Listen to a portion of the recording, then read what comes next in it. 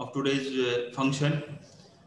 I will uh, I will ask Dr. I will uh, request Dr. Savalia sir to brief to invite our guest with this welcome speech and to brief about World Egg Day and today's lecture series. Savalia sir, please. Yes. Uh, a very good morning to all. Myself, Dr. P. Savalia, Principal Scientist at Poultry Research Station, Veterinary College, AU Anand, and core co-PI of NAHEP, feel very happy to extend my warm welcome to, on behalf of NAHEP team, AU Anand, to all present over here in the NAHEP lecture series on incredible chicken egg arranged on account of celebration of World Egg Day. We all know that World Egg uh, Day is celebrated all over the world on second Friday of October each year to raise awareness of the benefit of the eggs and their importance in human nutrition among the people. First of all, heartily welcome doctor Y C Jhala sir, principal and dean, international agri business management institute of, institute A U Anand agriculture university Anand, and also an adviser of NAHEP. We have with us our principal investigator doctor R S Pundi sir I also welcome you sir in this occasion I would like to welcome well known personalities of poultry sector and speaker of today's function, Dr. Mukund Kadam and Dr. Jivan Sonewal. Dr. Mukund Kadam is Associate Professor and Head, Department of Poultry Science, Nagpur Veterinary College, Nagpur. He will deliver a lecture on everything about how chicken eggs are produced. Our second speaker is Dr. Jivan Sonewal. He is Managing Director, Novel Pharma Solution Private Limited, Mumbai. He will speak on chicken egg, nutritive value, and myths and facts, myths versus facts. He also well, uh, I also welcome all registered participants of the lecture series, faculty member, professionals, and students in this occasion. Now I request Dr. Rais Rajpura, co-PA of this project, to give brief biodata of the speaker and to act as a moderator for subsequent events. Once again, I welcome all you, all of you, and thank you very much. I just hand over the uh, uh, session to Dr. Rais Rajpura. Thank you very much, sir. Uh, before introduction of this uh, today to our uh, speakers, I will uh, just invite uh, Dr. R.S. Pundi, sir. He is the principal investigator of this NAHEP CAAST project. so, Dr. Pundi, sir, please brief us, our audience, regarding this NAHEP activities and NAHEP projects. sir. Thank you, Dr. Rajpura. It's nice. I think uh, most of our uh, participants who are not new, they know about this project. And uh, many of the participants also, apart from them, at our university. But mainly for those who are joining first time or who are new, and particularly our two uh, very uh, learned speakers, Dr. Uh, Kadam and Dr. Jivan, we are here very much. So I will just brief you about this project, though it is not new for many of the participants as well as other staff members who are here. Basically, uh, this project was taken up by our university under NHP CAAST projects from ICAR World Bank uh, one and a half, some uh, maybe one and a half years ago, or you can say to be specific, one year and four months ago. Basically, the project is centered to market intelligence and it includes both crops as well as allied activities, allied sectors. And one of the very, very important allied sector activity is livestock, which includes poultry and fishery also, food processing also. It's a very, very important sector without which I think the agriculture uh, we cannot say much about agriculture and we cannot say really much about enhancing the farmers income which is being uh, taught nowadays as the uh, doubling farmers income. This is very, very important, uh, our uh, one segment. And uh, there are seven groups in this project, in this uh, agriculture market intelligence. Out of them, one is there. So apart from our uh, research activities on crops and allied sector activities, we are also having this capacity building program. And this today's lecture series on incredible chicken eggs is a part of this lecture series under this group for which Dr. Savalia Saab is CCPI, he's a senior person. And apart from his, Dr. Rajpura is a co-PI for that and uh, joint organizing secretary. And also Janki is also here, very much the uh, senior research fellow, very good faculty with us. And uh, I also welcome, uh, apart from these things, once again at my ends to my principal Y.C. Jhala and all the people associated with that, the officers as well as some participants. About this brief, uh, our observations, uh, Dr. Kadam, particularly to you and to Dr. Jivan is that over the last one and a half years or so, our observation is that uh, we are doing some work on research and capacity building apart from other activities. And our uh, maybe the feedback or you can say the performance has been rated quite satisfactory by this uh, ICAR as well as World Bank. This is a good uh, satisfactory indicator at our end. But we have to go a long way still. And out of that, this sector, the livestock sector within which poultry is an uh, important and integral part is so much important today. And particularly after this COVID situation, which is continuing. So we are looking someone or maybe some expert like you who could enlighten not only to the audience, but particularly for those who are engaged at higher education, because this is under CAAST MSc, PhD students and faculty members to understand some issues which they can address for their research projects also. So you both the speakers, learned speakers are requested to also uh, throw some light so that some uh, PhD, MS students and faculty member could understand something so that they can uh, address these issues through their projects apart from for common man and the farmers. These are few things. I think I will not take much time and we are happy here to have you. And once again, I welcome you on behalf of our university as well as on behalf of uh, me. Uh, over to you, Dr. Ajpa, please. Thank you, very, thank you very much, sir, for briefing us and our audience regarding this NAHEP activities. So we'll move forward uh, to our lecture series. Uh, uh, on the occasion of this World Egg Day, we are going to celebrate uh, this lecture series on incredible chicken eggs.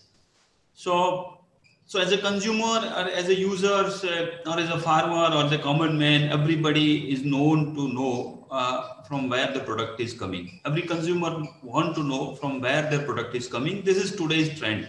Today's consumer is, uh, is, is very much interested to know. So for this, we have two lectures. Our first lecture is about this, everything about how chicken eggs are produced on farms. So that is important. For that, uh, we have with us today Dr. Mukund Kadam. He is an MSc PhD in poultry science and postdoctorate from Australia. Is uh, presently holding this associate professor and head of the Department of Poultry Science, Nagpur Veterinary College, Nagpur. He is also holding the post of uh, executive members of Indian Poultry Science Association and counselor of World Poultry Science Association India branch. Dr. Mukund Kadam is uh, graduated from the Marathwada Agricultural University, Parbhani. He completed his master's from Mumbai Veterinary College, Mumbai, and further completed his PhD from the, in the poultry science subject uh, from CARI, Central Avian Research Institute, Bareilly. His PhD research work was pioneered in the area of in-ovo nutrition and on which basis he selected uh, for this endeavor award at University of New England, Australia for postdoctoral study. After returning to this India, he joined as assistant professor in the Department of Poultry Science, Nagpur Veterinary College, and he has chosen his area as a career in this rural poultry production, under which he was he has developed a state-of-art facility for poultry training center and demonstration unit at Nagpur Veterinary College. The facility is established under the RKVY Yojana. The center has a unique uh, demonstration and hands-on training facility for the farmers, youth, women, and college students. The training center is uh, continually engaged to deliver knowledge on scientific poultry farming for small-scale poultry farmers, youth, women of the Maharashtra, even, even, even for the entrepreneurs. Successfully, the training center created several poultry entrepreneurs around this uh, uh, Nagpur and in the country also. Since last more than 10 years, Dr. Kadam is engaged in sev with several government schemes, especially for rural poultry farming, and has vast experience in uh, low input technology, native breeds, and poultry production, and economic upliftment of this rural people. He also delivered various talks to national and international levels in various poultry uh, uh, seminars and uh, activities. So I will uh, invite uh, our speaker, Dr. Mukund Kadam, uh, to brief our audience about how chicken eggs are produced. Dr. Mukund, Mukund sir, please.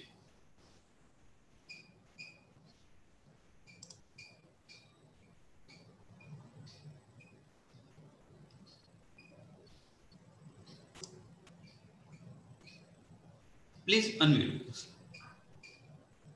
Okay. Yes. Is it audible? Yes, sir. Yes, sir. Right. So, uh, very good morning to all of you. Today I'm here to present uh, or to know how the chicken eggs are produced at farm because as Dr. Raisa Rajpura rightly pointed out, customers are nowadays very much concerned the product which they are purchasing, how it is produced or from where it coming. So uh, rightly to highlight that issue, I think maybe he has given this topic to me, uh, that is how chicken eggs are produced.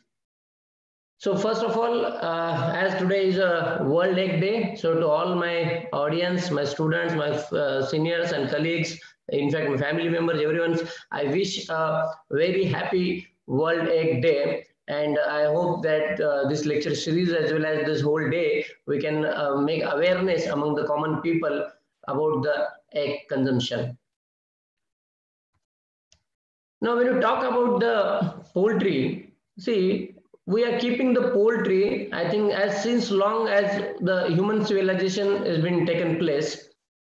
And I think among the livestock, this is the one of the bird which is reared with the human beings since long year back. Maybe if you take the history, more than 8,000 years ago, these birds are reared in different part of the world.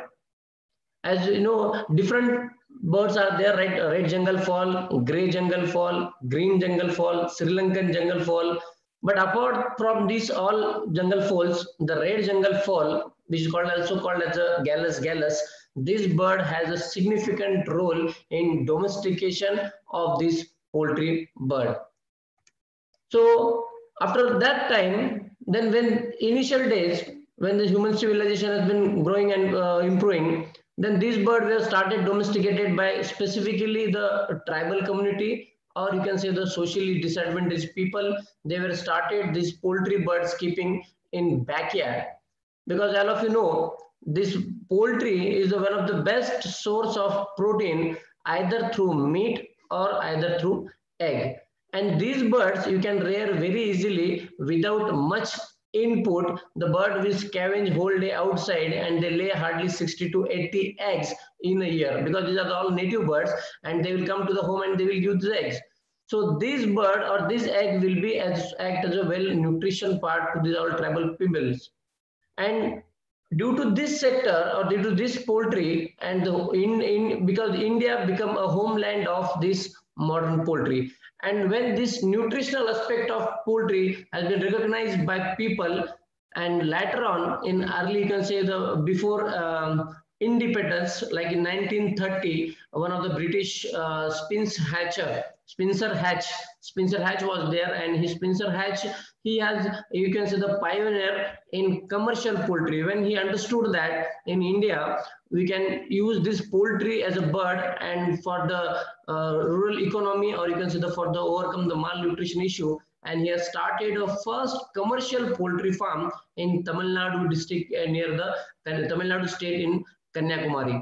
And later on, when the government recognized that, yes, the poultry is a very important aspect in Indian economy. And then when the Indian, after the Indian independence, the five-year plan come, and specifically in the second five-year plan, the poultry has given a special importance. And under that five-year plan, the initial step which the government of India has taken to establishment of the different breeding farms. And the, those breeding farms were established at three places.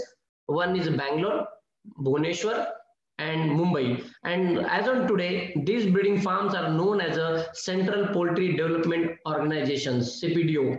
And after that, the government also included some AICRP projects on poultry breeding. And due to this breeding program specifically, this because I think this breeding program was the main key point. Due to this, the breeding the, there was a continuous research was conducted how to improve our the genetic flock because all the backyard bird and how to make the good stock out of it for the egg production or the meat purpose.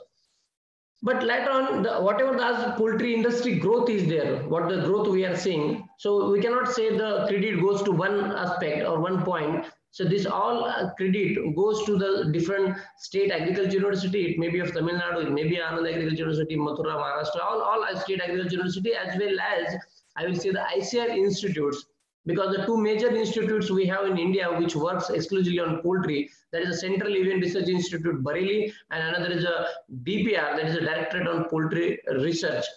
But apart from this government sector, no doubt government of India, Animal Husbandry Department and very, very significant role played by the private people because I feel the major share of this poultry development goes to the private people and that too again the Venkateshwara group specifically because the Padma Shri uh, B.V. Rao ji was there and he has contributed that that's why he is awarded or he is honored with the Padma Shri award and these all private people come together and whatever the face we are seeing as today's industry that is all credit goes to the private ICAR Institute State University as well as the government of India. Then in this entire journey, which was the major player, we can say what was the major key in early 20, as I told you, early century 20, people given a major focus on breeding program. Because you know very well to get the good productivity you have to focus on the breeding program. And i think uh, the dr Rais rajpura is in one of the center where they are working hard on these breeding programs. And how this bird has been developed whatever the commercial birds we have See, the, these private people or government institute, they started rearing the pure lines, pure lines of different different breed or a same breed for specific parameter. Then these pure line birds are crossed to produce the grandparent and from that grandparent they produce then parent stock and then parent stock then we produce the commercial laying hen now these pure lines are though you are seeing three, four different, different six line, 10 line, 15 line as per the economical parameter. Maybe one of the pure line is reared exclusively for the egg quality. Maybe one of the pure line is reared for the production of the uh, um, egg one of the uh, pure line may be reared only for the shell quality. So this kind of different different pure lines are maintained and the breeder will decide the which pure line has to cross and the grandparents should produce and from then grandparents to parent and parent to commercial laying hens. So at the end what the product we are getting at hand at hand at hand that is a commercial laying hen and no doubt, as I always am telling, the major role is genetics because 70 to 80% part, around 70 to 75% part is the role played by the genetics. And maybe this due to genetics only, the today's the bird that is a white leghorn, or you can say the different strains are available in India. We'll see the next slide.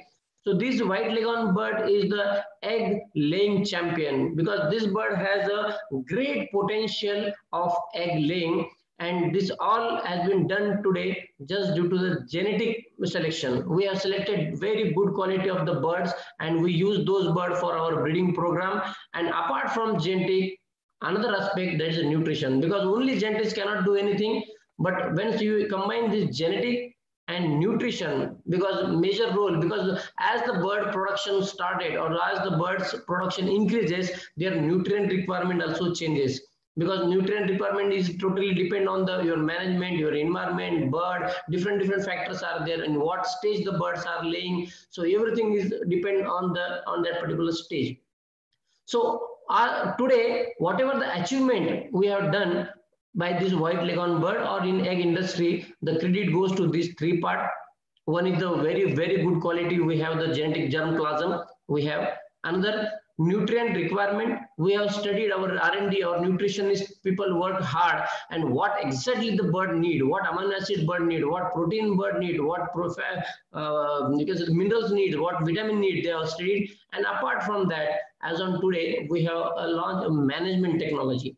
Yes different technologies have been arrived. May it be a lighting technology or it may be a raking technology uh, litter technology. So these all three factor played a significant role to achieve our today's target. So as I told, due to all this aspect, after this genetic nutrition and management, we have evolved or you can say we have produced a different kind of breeds or you can strain in India, which are commercially available for the farmers. As well-known breed by the Venkateshwara or you can say the strain which they have developed that is a BV 300 bird is there the Venki again they have uh, because of the brown egg requirement they have developed another strain that is a BV380 another groups are there Srinivasa and Inbro they have the Hy-Line W336 Suguna have the low, Lohmann, Skylark, they have the Bovans. So these are the different breed which has been available in India for the commercial egg production. Again, as I told, for specifically rural people, a DPR, there is a Directorate on Poultry Research, they have developed one more breed, there is a Gramapriya, which lays the brown egg and the Karnataka University, they also developed Swarnadhara. These are some major groups. Apart from this, there are some other universities, other uh, institutes, private people, they have developed different breeds also, that also available. But these are the major, you can say the strain or breed which are available in India. So due to this, I think when the picture, if you go back in 1960, uh, the, our story of the our poultry industry was the ugly duckling because uh, you, you, know the story of that uh, duckling, ugly black duckling. So that was our uglier picture in 1960. Everyone was thinking of the poultry, oh, it's backyard business, very small business. But if you see in 2020, entire picture has been changed as I told the Cinderella, I shown the Cinderella. Now this 1960 duckling has been changed to ICR Cinderella because if you see the ICR now, with this poultry sector become a, one of the very, very important Cinderella or important factor of this entire economy or ICR faculty. That's why I have given a specific name to this today's Cinderella of this white leghorn bird. Now, if you see this production of this white leghorn bird, just which I told due to the selection uh, breeding program and due to the nutrition and due to the management, we have achieved more than getting 320 eggs per bird within a year. You can see the amazing. And nowadays we are getting more than 300. We have, we have figures of around 325, 330 eggs also in a year. If you take in quantity wise, they are producing around 18 kg eggs in a year. So uh, FCR, that is you can say the, so one uh, consuming one kg feed, they are producing around 18 kg egg. So in such a way, we have progressed in the egg production. Now, if you see as a common man, most of the time we think that, now who is producing these all eggs? Yes, these people are very common people. These people are just in around us of people, very small farmers, eh, marginal farmers, large farmers, common people. They have started their business. They are rearing these all white leghorn birds or different brown eggs, and they are producing the eggs. These are very, very common people which are in around us. Not only this, but some of the tribal families are there some of the small marginal farmers are they are totally they are depend on the egg industry. Like one of the NGO is there, PRADAN NGO is the NSPDD, which is working in the MP Madhya Pradesh.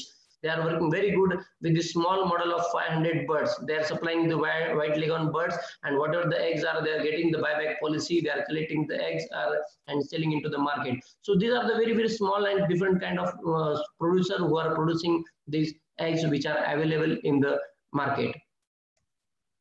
Now, if you see the worldwide egg consumption, uh, very interestingly here you can see the brown egg consumption is more all over India, sorry, over the world, and white egg consumption is around 30%. So if you see the contribution, so 70, 30. So all over world, 70% of the people they are consuming maximum the brown eggs and 30% people they are consuming the white eggs. So these are just share market share I'm telling uh, brown and white eggs.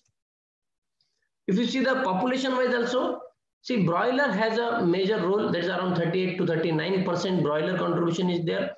Around 29.8 is the backyard poultry and around 29.4 is the layer industry and hardly 2.1 or 2.5% is contribution given by the other birds like it may be a turkey, it may be a duck or quail. So these are just statistical figure of this all population most of the time again i have seen that most people get confused about the difference between the broiler and layer.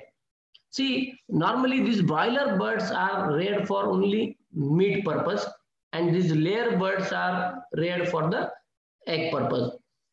Now there is no miracle. See as I again specifically in pure line grandparent parent stock. This is all due to the selection when your target is that we want the bird for the meat purpose. Accordingly, the pure line grandparent and parent stack has been developed. The birds which we have selected to produce a bird which can get a body weight of around 2.5 kg or more within the 4 to 2 days. If you see the broiler bird, we are getting more than 2.5 kg body weight within 42 days. So uh, to achieve that target, we are selecting that kind of grandparent and parent our pure line stock and then we are getting that commercial broiler in hand. Similarly, when we talk about the layer birds, our target is egg production. We want maximum eggs, maybe 300 or more than 320. So for that, we have to select such a parent or such a grandparent or such a pure line who will contribute for the quality egg production. And as I told, the white leghorn is the egg laying champion. So breed of choice for white leghorn is uh, sorry for egg production is the white leghorn bird. So we have this pure line different for the broiler purpose because our objective is meat. And for layer, we have the different pure line and grandparent because our objective is egg production. So accordingly, these birds are rare and at the end, we'll get the market product that is a broiler or egg. Now, if you see the Indian egg production growth, in 2016 or onward, you see like 2015 to 16, as on today last figure, which are 2018-19, we are producing around 1.3 million eggs. We are producing around 1.3 million eggs as well as the growth rate is around 7 to 7.5%.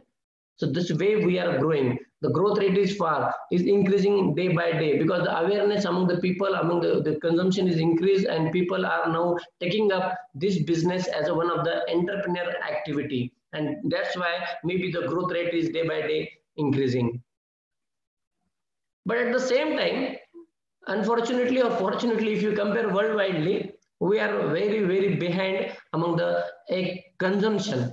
So if you see the country-wise like Mexico and Japan, Argentina and all, we are not in first 10 also about the egg consumption. Like in India, the recommendation by the NIN, that is the National Institute of Hyderabad, they have recommended around 180 eggs. But as on today, if you see, we are consuming hardly 79 eggs per person per year. And there is a long way to go to achieve the target of 180 egg, which is recommended by the NIN Hyderabad. So still there is a scope for this for, to increase our egg production as well as the egg consumption. Now we come to the do you know how the birds they start or they start laying journey of the laying? So for that first picture i want like clear and the thing is that most of the people they don't know about the egg laying. See friends laying an egg is a natural phenomenon of hen. This is a very very important picture because yesterday I also had a talk with few of the people on the occasion of this world egg day. The people they don't know whether the hen lays naturally or whether she need a male to get an egg. So be clear hen doesn't require a male to produce the egg. I will come to the next picture for this. Two types of eggs are there normally. One is a table egg and another is a hatching eggs. So now the eggs which we consume or the eggs which are available in the market shop, those are the mostly or 99% are the table eggs.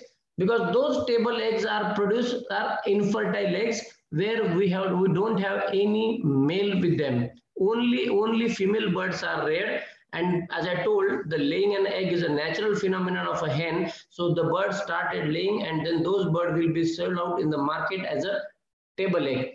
But at the same time, suppose if you want the chick out of it, if you want the chick out of it, then you have to keep either male with the hen, as I am rightly shown in the in picture.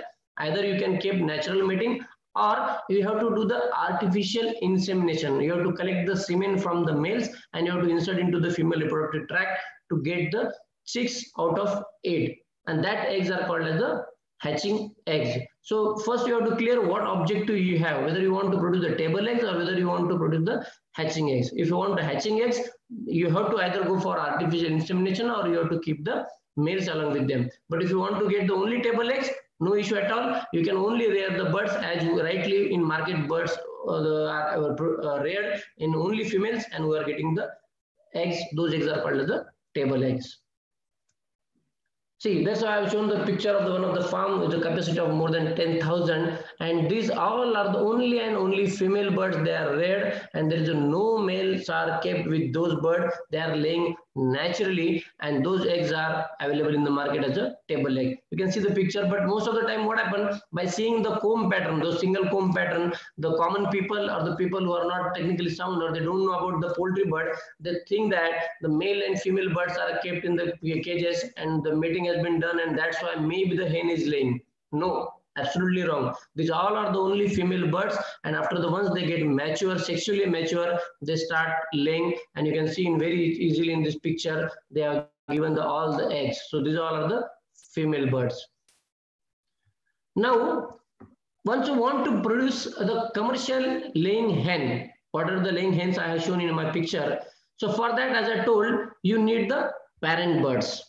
As I told, parent birds, grandparent, pure line. So mostly these parent birds are bred. It means they are crossed either artificial by the artificial insemination and to obtain the commercial layer chicks. So these parent birds are crossed with the male and female with the artificial insemination and those end product that is a commercial chicks, commercial layer chicks are produced. And those commercial layer chicks, what we are getting, that are kept in the incubator machine where the eggs are kept for around 21 days. And after 21 day, you will get the one day age small commercial layer chicks. Now these commercial layer chicks, once they come out of the um, uh, incubator or hatcher, those birds are mostly separated by the sexing male and female. That sexing is done visually also, vent sexing method. These small chicks are sexed male and female be separated because now our target is to achieve the table egg. We don't want the fertile egg. So naturally, whatever the females are there, that will be only used for the further process of the to obtain the table eggs. And whatever the males are there, those males will be discarded at the one day age itself. And only female birds, after differentiating the male and female sexing, only female birds are allowed to for produce the table eggs. And at the once this bird attained the age of around 18 weeks, one eight, the bird started start laying the eggs. See, once these small chicks, once they pass out, these chicks are reared in different different stages. As you know very well, that different stages are there of rearing this bird. The first stage is called as a chick stage. Once this laying hen uh, came out of the egg, this, these layers are in a first stage, that is the chick stage, up to eight week stage. We call it a chick stage. Then next stage from 9 to 15 weeks, we say is a grower stage. And after this grower stage, next is the pre-layer stage, that is the before laying. Because whatever the sexual maturity of the reproductive tract of the bird is been taken place during this pre-layer stage, 15 to 18 weeks. All reproductive organ will be developed well and bird will be start laying at the end of the 18 weeks and that's why the last stage that is the layer stage in between 18 18 to 80 weeks is called as a layer stage so among these four stages we have uh, divided the chick stage grower stage or pre-layer stage and layer stage and at the end of the 18 weeks bird will start laying so according to the different stages, as you know, in human being also, if a small kid is there, his nutrient requirement is different. A young boy is there, his nutrient requirement is different.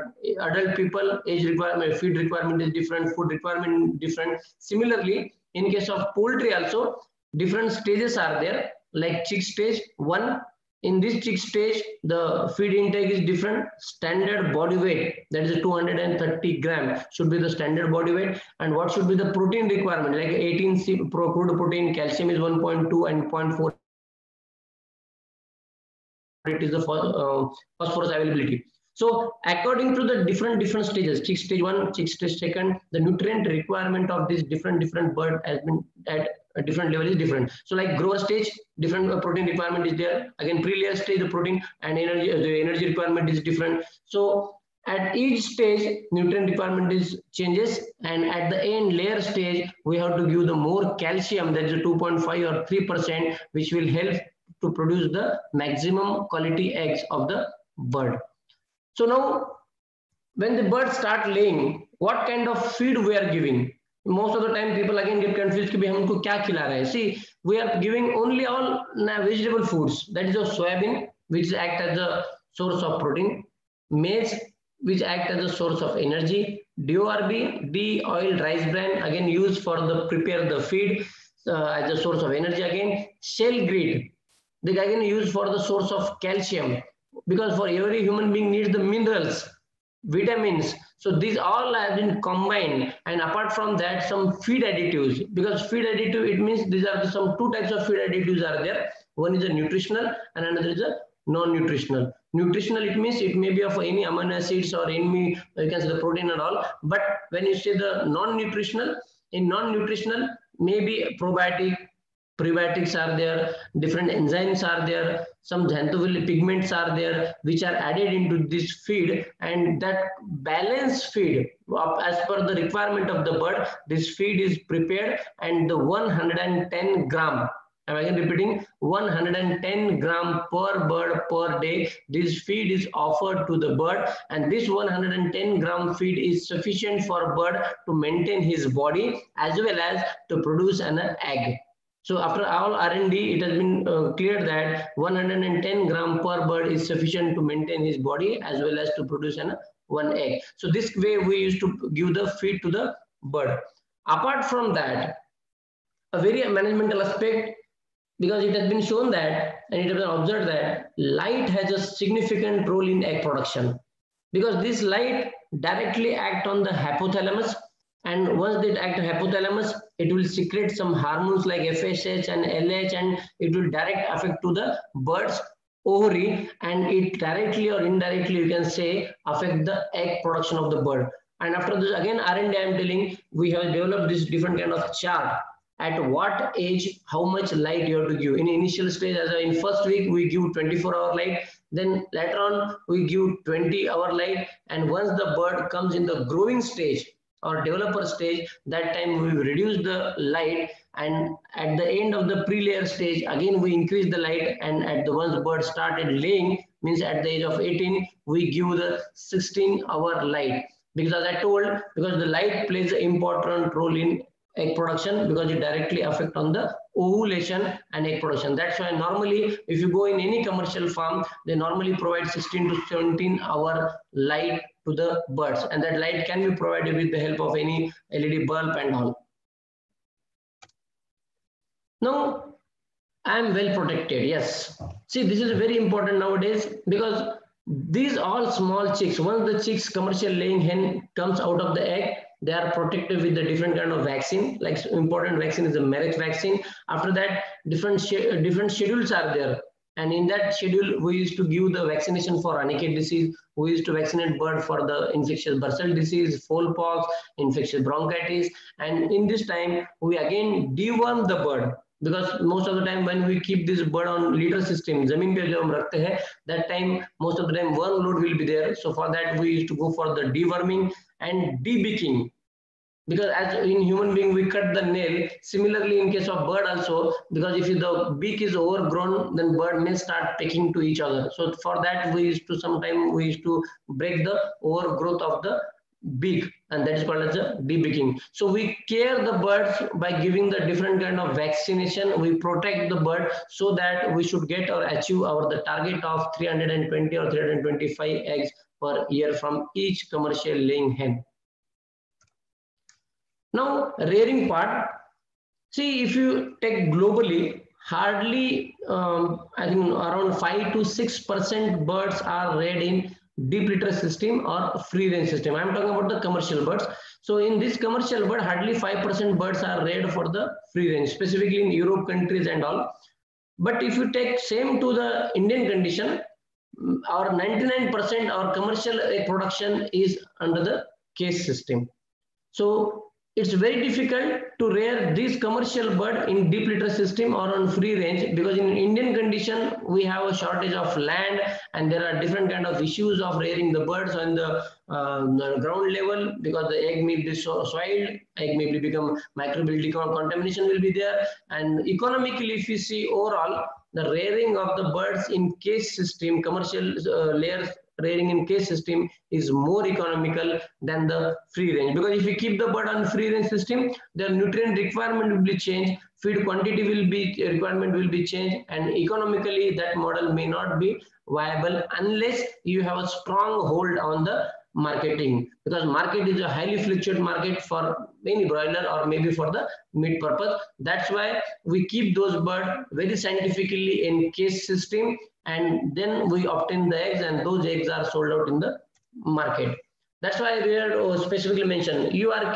caring. Yes, we are caring the bird. So we are taking entire care of the bird. We are taking the care of the bird from day old stage. We are giving the vaccination. We are giving the deworming. We are giving them all best quality of the food. Then they are, they are coming to the grower stage, then pre-layer stage and layer stage. Once the bird comes in the layer stage, then we give them a proper light, then feed, then water, everything we are caring about the bird vaccination, so that's why if you care, definitely bird will care for you in term of egg production. And that's why I specifically mentioned we have given a sufficient space also for the birds in cages. Around nowadays we are advising around 85 square inch per bird uh, space we are giving to the birds.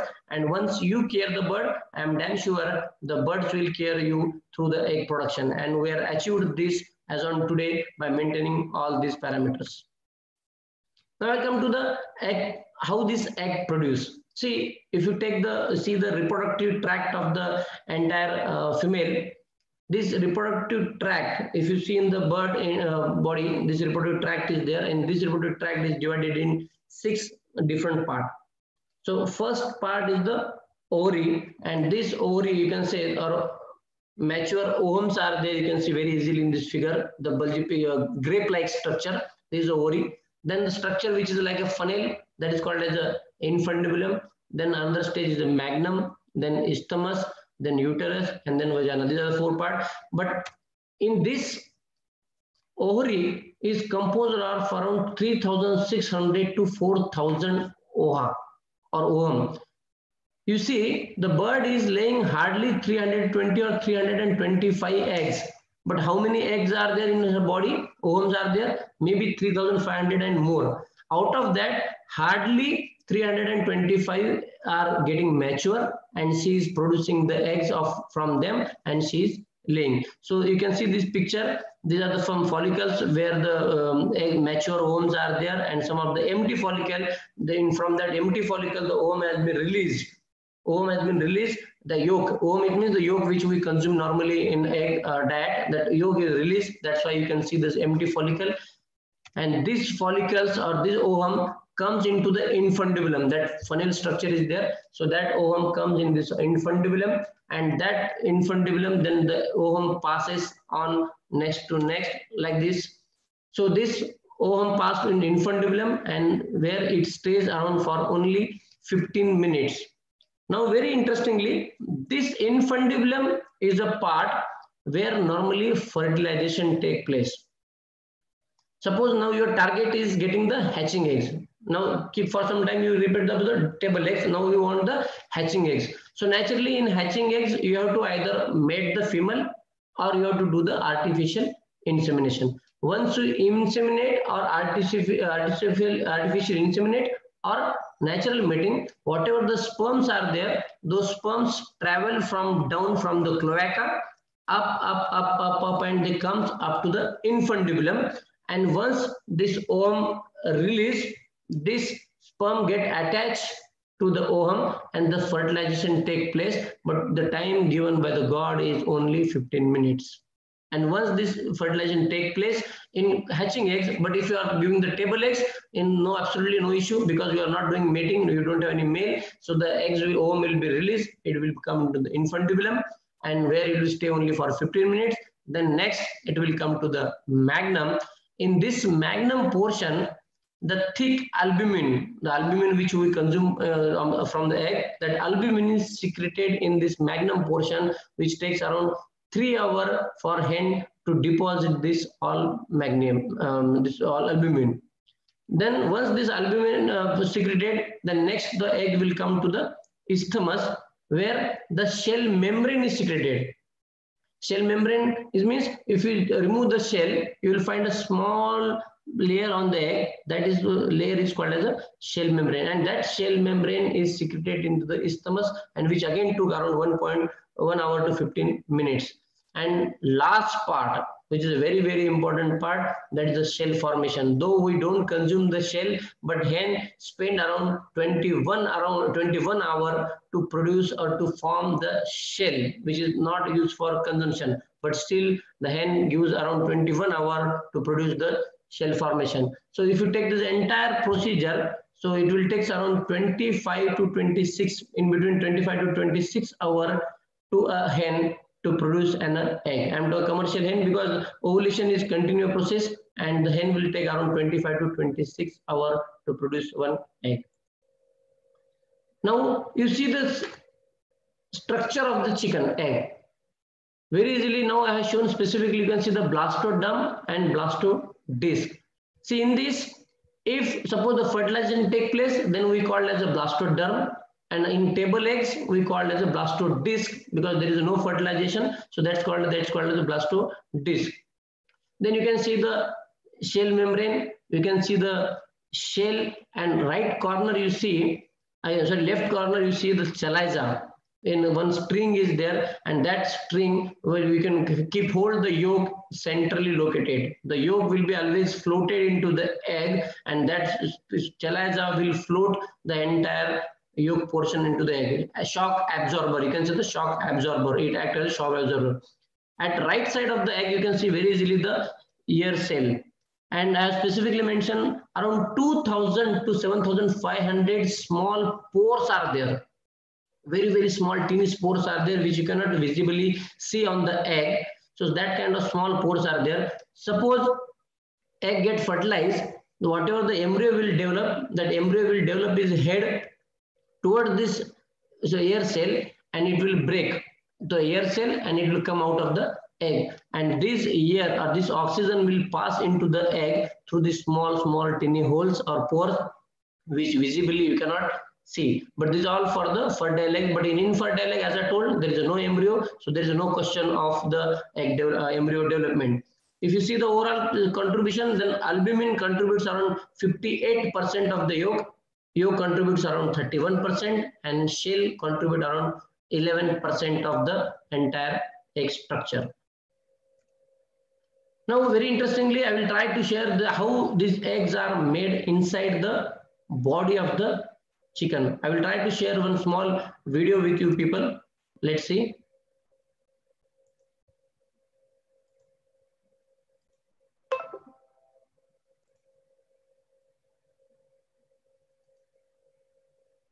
Yes, you can see in this picture, a hen is there and inside you can see this is the ovary which I just discussed with you people.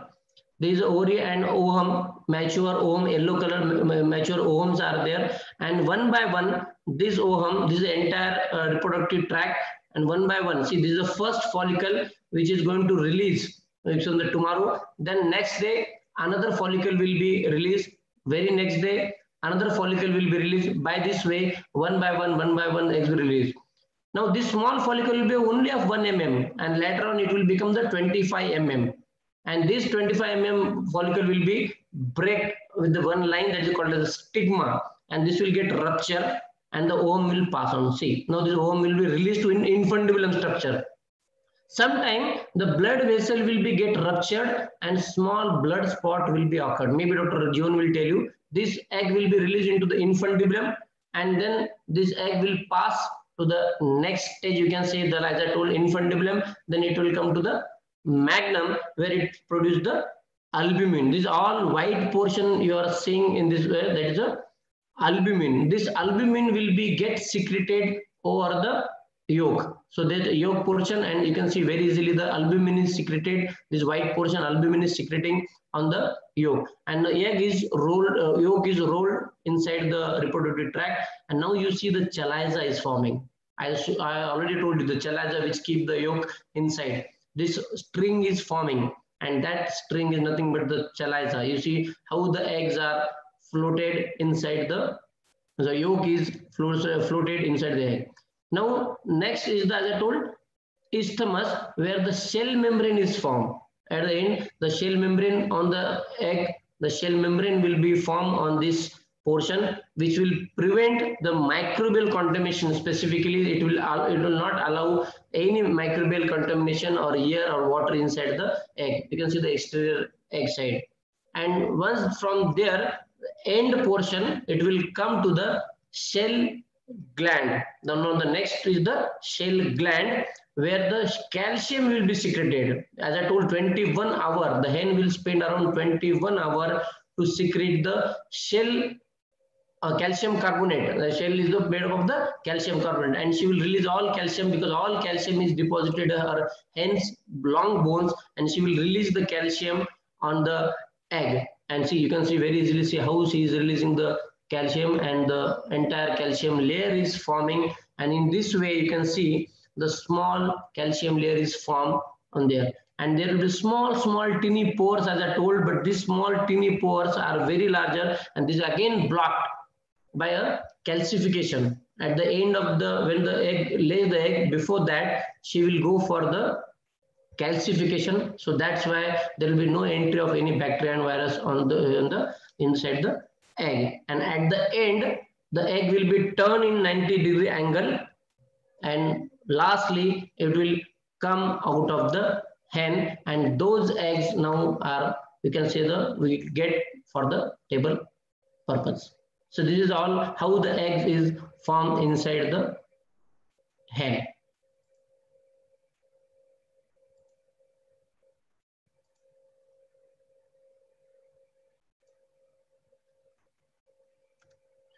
yes so once these eggs are laid by a hen now, these eggs are collected at different interval.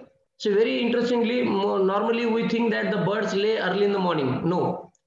Normally the birds lay maximum at around 12 to 1 hour. So in commercial farm, you can see very easily the people start collecting the eggs since morning 9 to 12, 1 o'clock, continue process two or three times.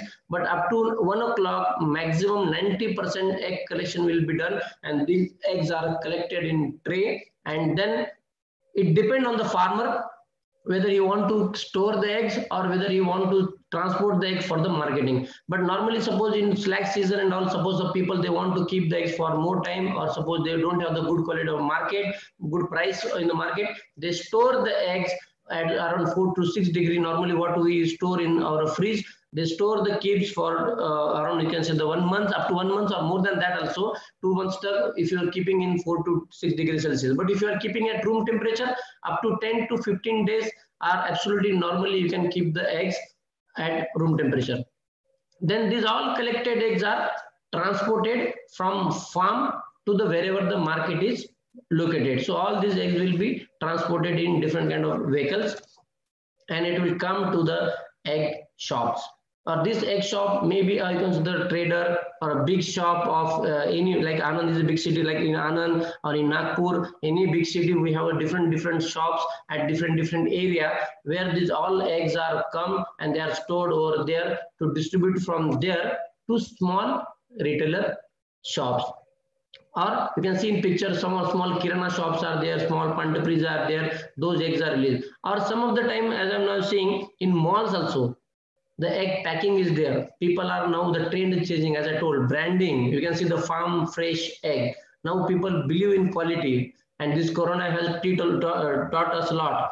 Now the people need the brand and maybe these eggs are branded with any name like farm fresh egg or and they are packed in around 6 to 12 eggs packing and those eggs are sold into the market in the mall or direct to the customer or open market. Now another format. See nowadays in uh, South India, specifically Coimbatore and Suguna group, they have I think released. Now a new concept is coming. New format of egg is coming people they don't want to keep this because in like city like bombay it's very difficult for people to go in every day or after each day to get an egg the eggs so whether we can have this egg in a tetra pack like fruit is there so similarly these packings are coming and this kind of eggs will be the future in india for egg consumption so people are ready or very easily accepting. They will take this Tetra pack, they will keep in their fridge, and whenever they want to prepare the egg omelette or egg burji, they will take spoon or two uh, katori of this uh, liquid, and they will prepare the omelette, eat, and again that will keep it in the fridge. So this kind of entrepreneurship or this kind of business can be grown up in near future. So all as I told uh, Pundir, Pundir sir told, this is the one of the area where you people can think to have an entrepreneurship activity. Now another ready to eat value addition. Because only egg is a very common phenomenon. Now what we can have the addition value addition? What you can prepare? Whether you can sell the egg roll. Because you have seen a different kind of shops of the you can see the mitai you will see the different kind of mitai like in nagpur if you go to haldiram you will find a different kind of mitai but we have not seen any shop which will have the only egg product. So again, a scope to have a small shop which will have the exclusively of different different egg products. It may be of pickled egg, like quail eggs are very good to prepare the pickled egg. Now egg rolls are there, salad chicken eggs are there, albumin rings are there, egg bhajia. So different different n number of products are there, value added products are there that you can prepare and you can sell out into the market. As I told, now uh, this egg is a really miracle picture. I'm not going to speak on the much on this aspect because this is a God-gifted fruit.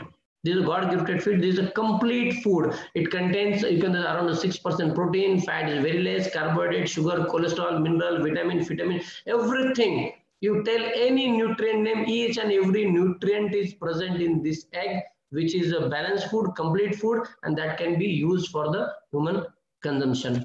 So I will not talk on this health benefit of all because next my speaker is going to speak on all this health benefit of egg and all. So I will come to my the end, that is a conclusion. As on today, if you see the only layer industry, around 55,000 crore is the turnover of only exclusive of the layer industry. More than 3 lakh people are directly because the employed in the layer industry apart from that this corona we have seen now the how the um, demand of the egg has been increased and that is just because of the awareness. Now people are becoming aware. They know that to fight against the corona the mask is the one of the solution. But if we have a proper immunity boost up then definitely the corona will not hit you. And to hit the corona you have to eat the egg. And that's why the maybe the egg protein become the growing part of the people dish and now people are preferring to consume the egg. Apart from that, sometimes the people makes a number of comments how the eggs are produced. See, don't believe. I'm saying the people are producing quality eggs. They are taking, farmers are taking care of entire birds, nutrient requirement, diet, management. Apart from that, the welfare of the birds welfare what feed they need what management kind of they need what space they need everything is there people are picking such kind of any rumors like as i told you know, again in this era, we should not believe on the false rumor in the social media. Nowadays, it's very easy for us to pass on the rumors through the WhatsApp. So don't believe on that. You just make confirm it whether it's really true or not. We have the uh, so many expertise with us. We can ask to anybody if you have any doubt in future also. But don't believe on the rumors. People say you know, people are feeding antibiotics to the bird. No, we are not feeding any antibiotic. We are not feeding any hormones to the bird. We are giving only antibiotic if the birds are needed. If the birds are sick, then only we give the antibiotic. Otherwise, we don't give any kind of antibiotic. And as Dr. Pundir has told, yes, this agriculture need a allied sector of the poultry to make or achieve our mission that is a double doubling income.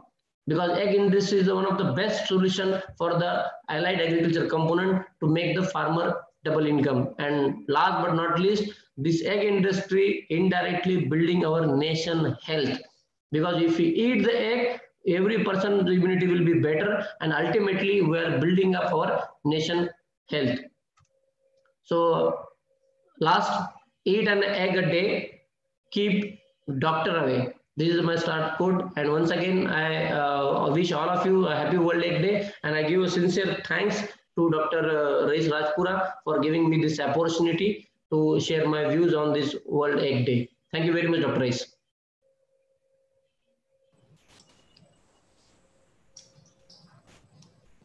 Thank you very much, sir. Uh, sir, more than 1300, 1330 uh, live viewers are there on our YouTube channel because this we are uh, giving lives on this YouTube. So all have a very good response we are getting from on this uh, live on YouTube. Thank you very much, sir, for enlightening uh, this uh, how eggs are produced on the farms. this is very much needed as a consumer point of view, as a as a as a researcher point of view, as a uh, as a as a farmer point of view. So thank you once again. Now I will invite our next speaker, uh, Dr. Jivan Sonwane. Uh, sir has already told all about egg produce. Now what egg content? What my egg have? Whether I am purchasing, whether I am investing money of five six rupees to to purchase one egg, what that contains, whether I'm investing in the right path or not. That all will tell us by Dr. Jivan Sonwane sir. So welcome Dr. Sonwane sir. Dr. Jivan Sonwane is uh, presently holding as a managing director of Novel Vet Farm Solution Private Limited. is a Mumbai-based, uh, Maharashtra-based company. He's an entrepreneur. Dr. Jivan Sonwane is a graduated from Nagpur Veterinary College, KMP uh, Veterinary Science in 2005, and he does his master degree in the in the subject of poultry science from this Anand Agricultural University. Then he joined uh, his career in the poultry industry and started his career in production sector with Suguna Poultry.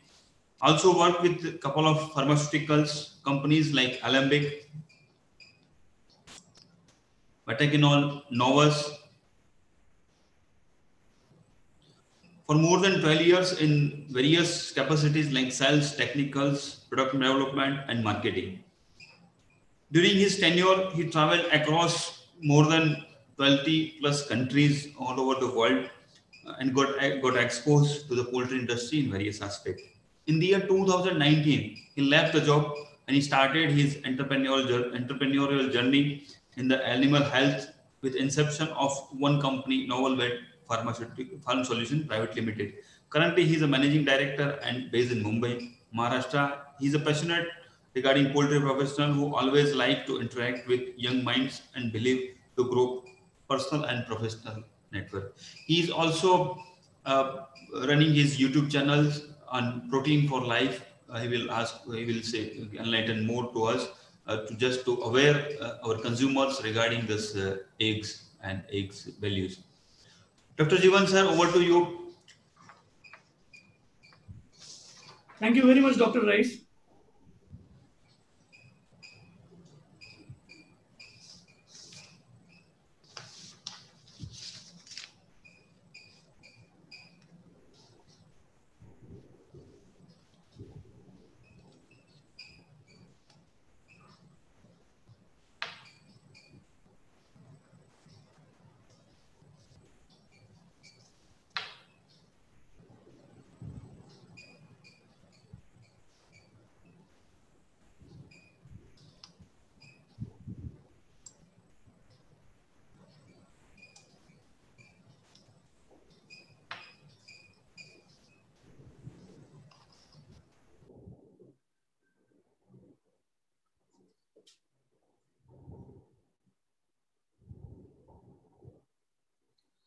Good morning, everyone. It's really great pleasure to be a part of this program on uh, World Egg Day 2020. I have done my master's from Poultry Complex, Anand Veterinary College, and carried really a great learnings about poultry and some unforgettable memories from this esteemed institute. And today it's a great pleasure to be a part of this program. Today I have been given a responsibility to discuss about uh, chicken eggs, nutritive value, myths, and facts.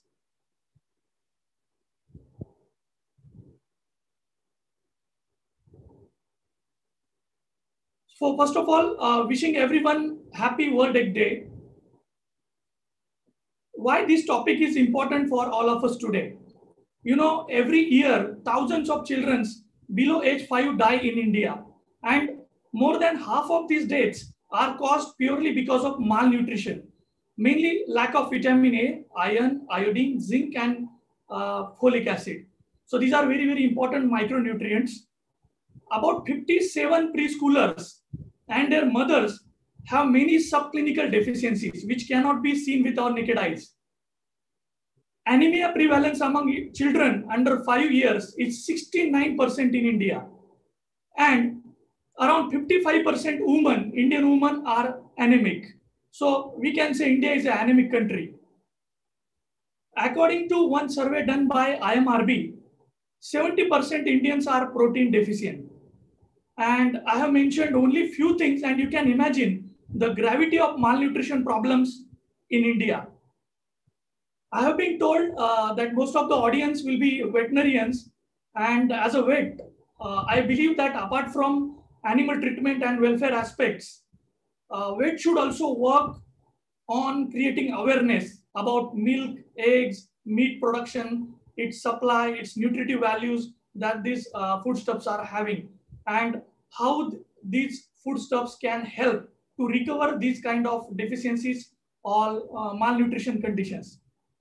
So in today's presentation, we will try to know how eggs can help us to mitigate these deficiencies. May not be fully, but at least up to some extent. So uh, please be with me and be interactive whenever uh, any comments are asked. You can comment, uh, comment in comment section on uh, YouTube. So when we think about threats, uh, we always think about threat to the environment like cars, smoke tracks, so smokestacks, but not as a food. But uh, truth is, our need for food is going to pose uh, one of the biggest danger to the planet. See, we are 7.32 billion people today, and in 2050 we will be 9.7 billion. So population growth is going to be a very, very high and food requirement also is going to be very, very high. When it comes to specifically to India, according to United Nations, we are likely to surpass China in population by 2027. And with growing population, need for food will grow tremendously. In order to feed growing population, farmers must produce more food, like 60% more food till 2050 or 2060. So in next 30 years, they have to produce feed which they have never produced in the past. And major challenge is the arable land is getting less day by day. Because of industrialization, urbanization, you know, uh, uh, arable agriculture land is decreasing in India day by day. And this is going definitely going to pose a problem for farmers to produce more feed to feed this growing population. Through this slide, I would like to drag your attention that how eggs can help to feed the world. You can see farming is farming in one acre area and protein production annually is compared in this slide. And it is very, very clear that poultry produce is going to help us help us a lot in feeding the growing population with available land resources. So you can see in one acre area, broiler farming can produce around 50,000 protein. I'm talking about protein, not uh, a total yield. Layer farming can produce around 27,900 kgs of protein versus soya farming, which is just a mere 1800 kg. So definitely poultry is going to help us in feeding the growing population in coming days. So how demand will grow in future? As we are talking about eggs, let's correlate this with our current discussions with growing population. Now, uh, definitely with growing population, eggs demand is going to grow. We have already seen uh, since uh, 2012, over the period of uh, six to seven uh, last years, the per capita egg availability is increasing. This means consumption is increasing very rapidly in India day by day. Also, it's not only the population, but you can see the 88% of next billion entrants into the middle class will be from Asia. And very interestingly, around 380 million will be from India. So this growing middle class is definitely going to improve the egg demand. Also, with rising population, rapid urbanization and rising income will definitely derive a demand for eggs and uh, demand for eggs will grow. You know, India is a young country India is a country of millennials. Around 76% uh, people will be young. Uh, I mean, below 35 age. And we all know millennials mindset. They want to go out, they want to eat, and they, they want to have a gastronomical experience with different kind of food stuff.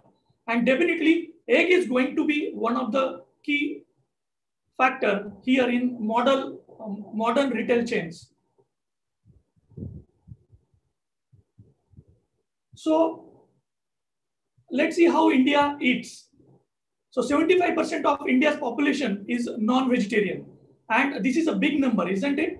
But even our per capita consumption is low. Why this is happening? Because most of the population eats only on weekends and they, they have still to make it as a staple food. And uh, even today also chicken or eggs are considered as a celebration food or weekend food and people will mostly prefer to eat on weekends.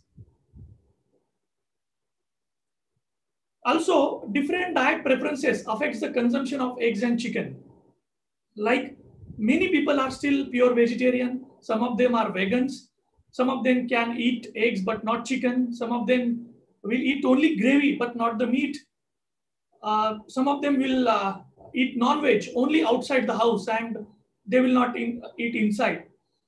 They will eat non-veg only when someone will force them. Or there is one very popular category in India which is pure vegetarian on Thursdays, Tuesday, and Saturday. And we have seen these many examples in our family, uh, within our friends, and in our society. So how world eats eggs? So 30% of the eggs population eats white shelled eggs, 70% eats, uh, eats brown shelled eggs. How eggs are graded globally? there are grade AA, grade A, and grade B. Uh, and it, it, it's graded depending on egg whites, yolk, characteristics, uh, and uh, uh, all those aspects. But in India, we don't have any grading system as that of developed nations. And uh, marketable weight is around 50 grams and eggs are sold directly as it is. So, so what advantage grading gives us? So uh, if we make our consumers aware about the quality of eggs and if we grade the eggs then definitely those producers which who are producing a quality eggs can charge premium for their quality. So what egg size is preferred? So uh, there are various egg sizes like peewee small medium large extra large and jumbo. Uh, but in india so egg ranges from 50 to 55 grams and uh, it is produced and sold in layers. So Indian egg producers are mainly focusing on egg numbers and some of the developed nations are focusing on egg mass. So they definitely get premium for uh, weight and quality. Whereas in India, as we have seen, eggs are only getting sold on numbers, not on weight basis. So uh, this is how world eats eggs, brown eggs versus white eggs, 70-30 ratio that we have already seen in uh, almost four slides back. So through this graphical presentation, you can see how egg production pattern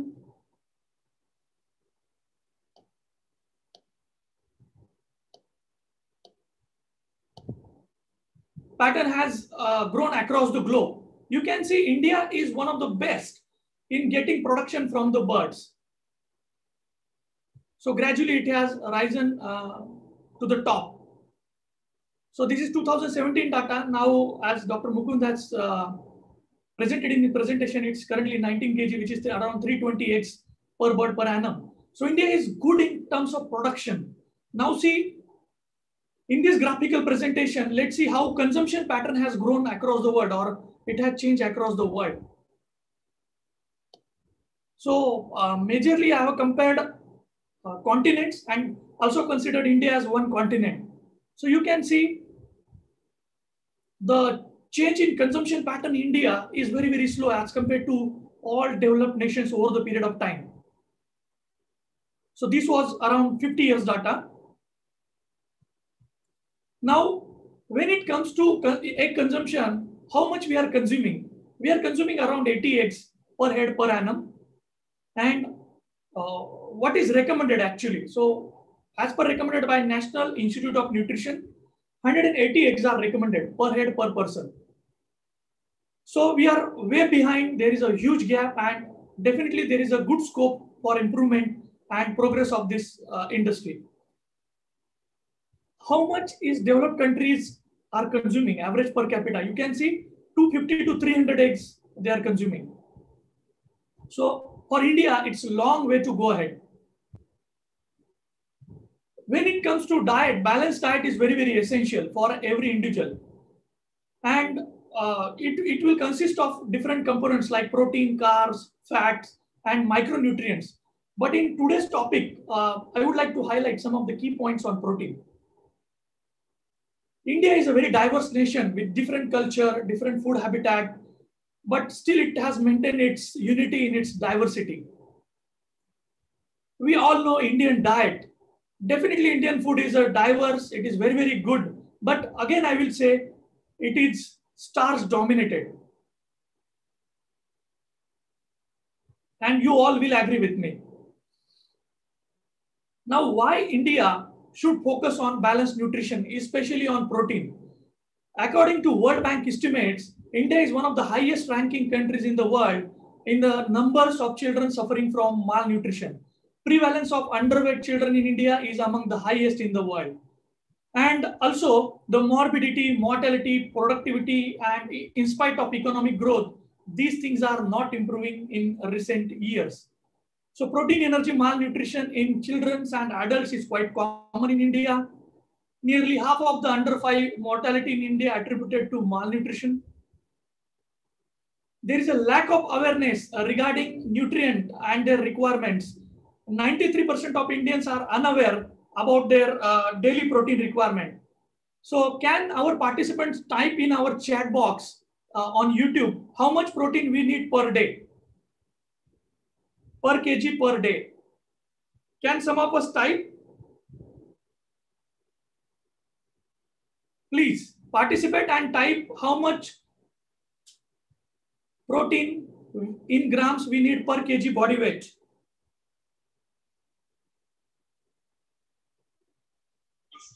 So, um,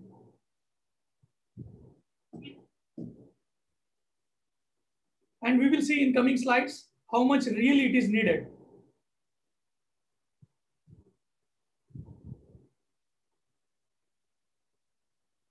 Right.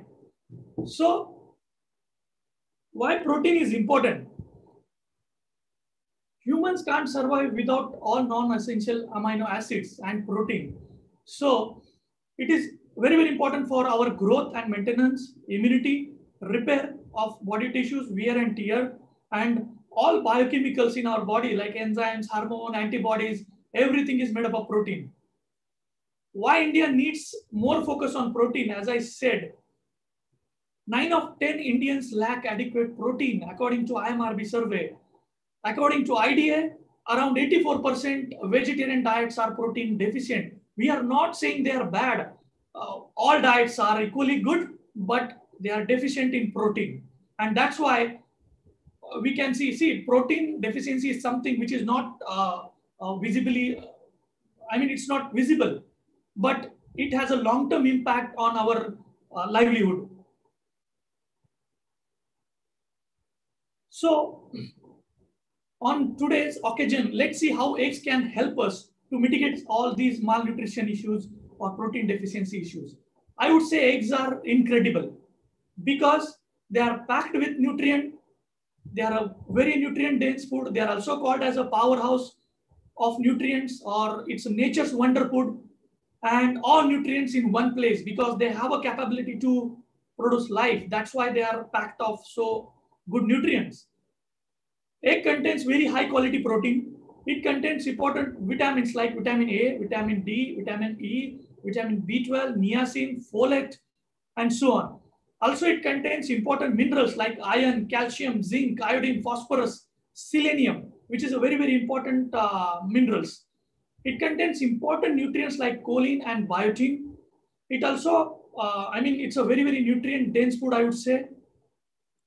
When it comes to egg whites, egg whites contains only 17 calories. It has no fat, no carbs, and uh, either no vitamins and minerals because all vitamins and minerals are concentrated in egg yolk. Eggs are incredible because they taste in any good taste good in any form. Um, in India, majorly omelette, boiled eggs, and egg bhurji are highly preferred uh, preparations. But globally, poached egg and scrambled eggs are also a part of uh, their diet. Eggs are incredible because they are suitable for any age, right from kids to uh, senile people. They are uh, very, very good for uh, patients who are recovering from uh, disease, diseases or chronic conditions.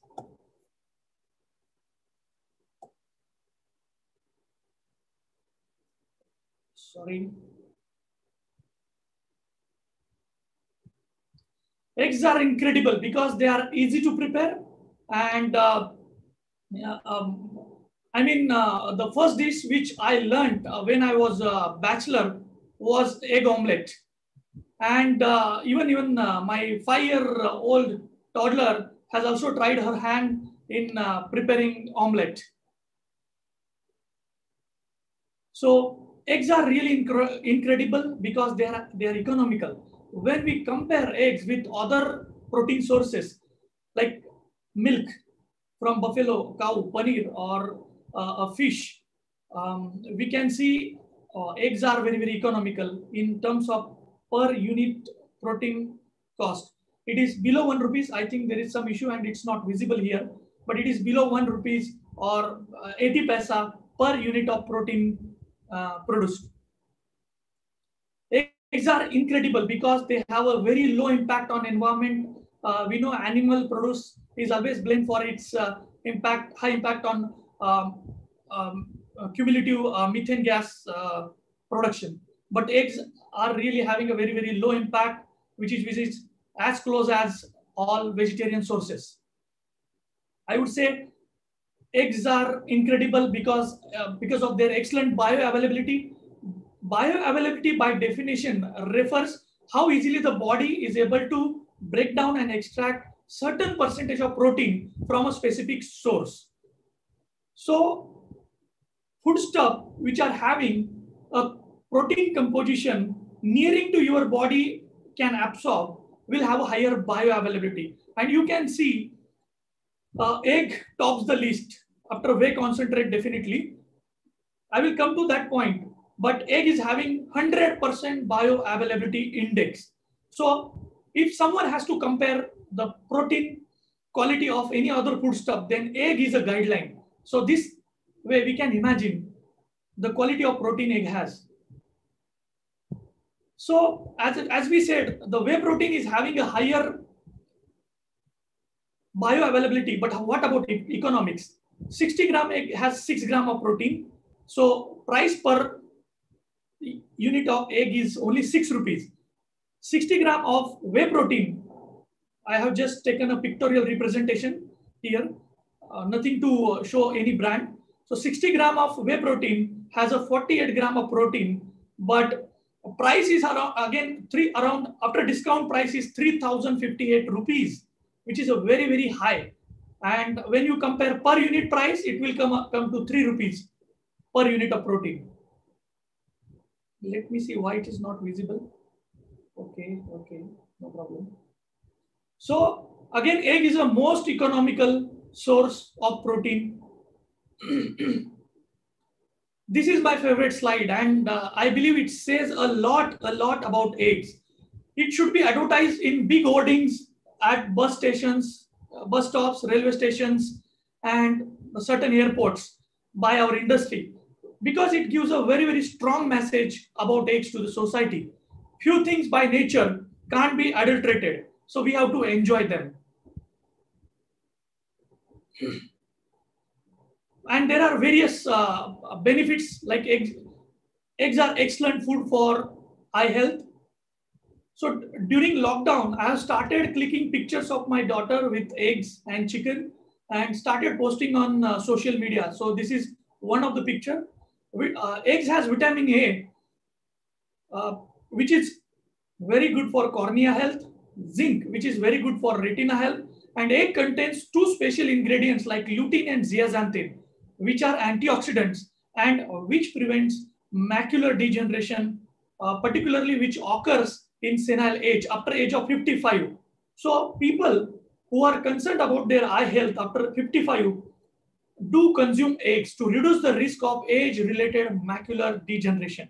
And please remember, uh, lutein and zeaxanthin is available in yolks. So you have to consume at least one yolk per day. So eggs are excellent for heart health. Eggs are a source of HDL, which is called as a good cholesterol, which helps to reduce plaques and LDL, which is a bad cholesterol from the body.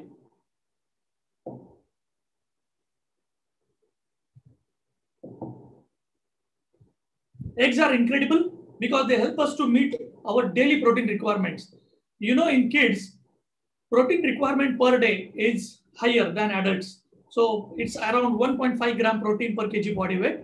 And uh, adding an egg, one or two eggs to the diet will definitely uh, help to fulfill kids' growing requirements. Eggs are nature's wonder food. They offer protein for growth, immunity, iron for hemoglobin, vitamins and minerals for overall development. Eggs are excellent food for boosting immunity. Immunity is a big word nowadays, and egg contains proteins, vitamins, and minerals, which helps the boosting immune system. So have an egg per day. Eggs are indispensable part of diet who do gym and workout because they are nutritional powerhouse and they can be snacked before or after workout. Eggs are rich in protein and in unsaturated fats that can fuel uh, workout, which helps to recover body from wear and tear. Eggs are incredible because uh, they, are, they are a great choice of snacks. I would say whenever you carve for snacks in the evening, please prefer healthy snacks instead of going for uh, uh, trans fat or starchy, starchy uh, snacks. So eggs can be a great choice for snacks. It tastes good and it supports a growth requirement. I say we should start a journey of eggs. Being a, uh, being into this industry, we should start a journey from ourselves, from our family, from our friends, and our uh, known people. Eggs are excellent for memory development. So nutrition has a greater role in overall growth and development for our children. So let's offer them right. Eggs are great protein source and yolk contains choline, which helps in development of memory in kids. Also, uh, we should take a place to have a freedom from protein, energy, malnutrition, and eat right to build our nation. And eggs can be a eggs can play a greater role. So searching for immune booster foods, it ends here with nutrient rich foods like protein, vitamins, minerals, and antioxidants. While comparing, we always say apple to apple comparison. But when it comes to apple, I will say apple to egg comparison. Egg beats apple in terms of nutrient availability. You, you name any ingredient like uh, protein or maybe carbs or uh, various uh, minerals like magnesium, calcium, phosphorus, everything. Even, uh, even, even in terms of vitamins also, when you compare, egg has very, very rich vitamins. And when it comes to the, uh, when it comes to the price, we, we all know that egg cost only six to seven rupees, whereas one apple cost around 30 to 50 rupees, depending what kind of variety we are purchasing. See, we are not against eating apple, but it's just a mere comparison of available nutrients. And it's really eye opener for all of us. So, uh, is this a time to change the slogan? So, well, I said on lighter notes, but you have seen the amount of nutrients eggs can offer. and egg a day keeps doctor away. Can we modify egg composition? Yes, we can only add to the egg but we cannot withdraw anything from the egg. So that's a fortunately very, very good thing by nature. So what addition, what value addition we can do with egg? We can have a vitamin D enrichment eggs, we can have a selenium enriched eggs, and we can have a omega-3 and DHA enrichment eggs. So we can add certain natural or uh, some, some of the synthetic additives in uh, feed, which are completely normal and natural and which will raise the nutrient level in the eggs and which can be scientifically tested and proved. So here comes a value addition of eggs. I think Dr. Mukund has already uh, shown us regarding value-added eggs. Eggs are incredible because you become what you eat. So for lean muscle, strength and stamina, eggs are great solutions.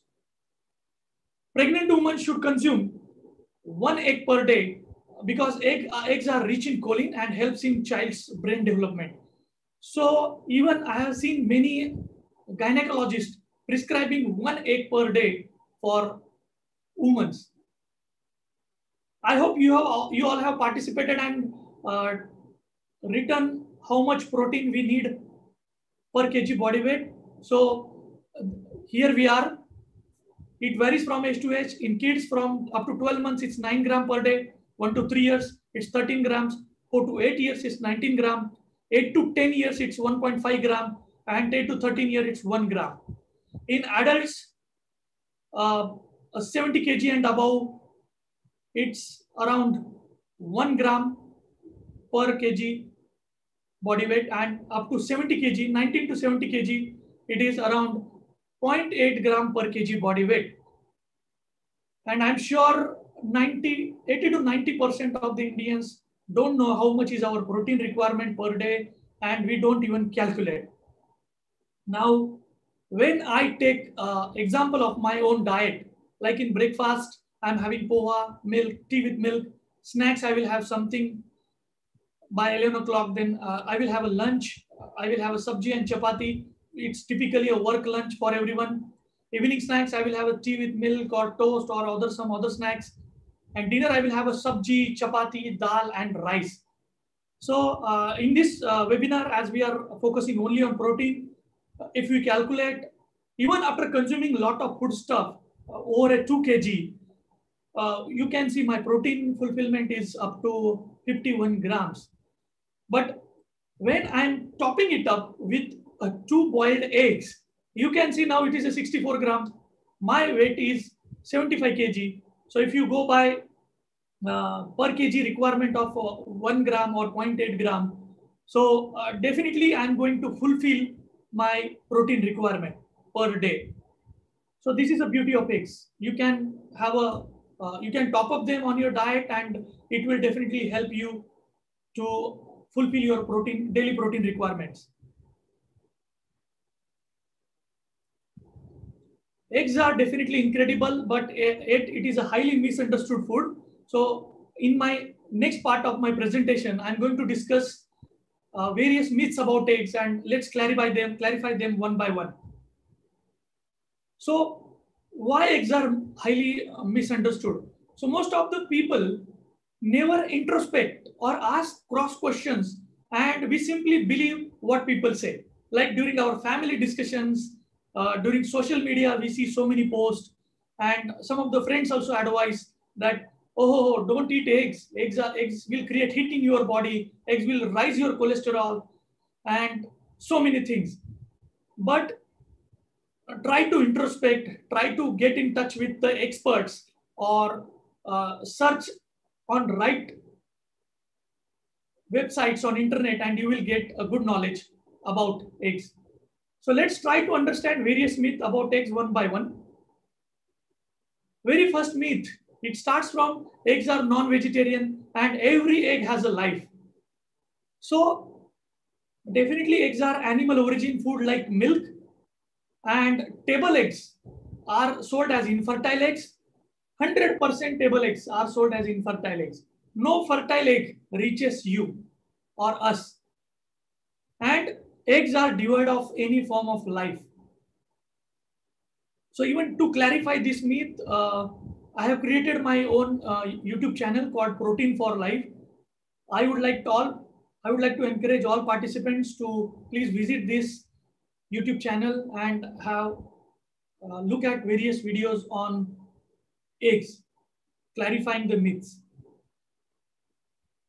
So uh, I would say egg is animal origin uh, food, devoid of any life, and we can definitely include it in our diet. Next myth, 85% of mothers in India believe that carbohydrates are more important than protein because energy is everything for our work and life. But fact is, it should be a balanced diet and it should consist of all nutrients like carbohydrates, protein, vitamins, and minerals. 72% people believe that eggs are rich in protein and are complex to digest. Definitely protein takes longer time for digestion, but again, it is very, very important for your growth, development, and immunity. It rather satisfies your hunger for longer time. If you are eating protein rich foods in the breakfast, you will feel that you are not feeling hungry for a longer time. So why this is happening? Because digestion takes longer time, uh, but definitely it will it will have a it is easily digestible and it will have a very good impact on our health. Next myth, protein is required only for physically active people. No. Protein is required for everyone and every day. Next myth, brown eggs are better than white ones in terms of nutritional value.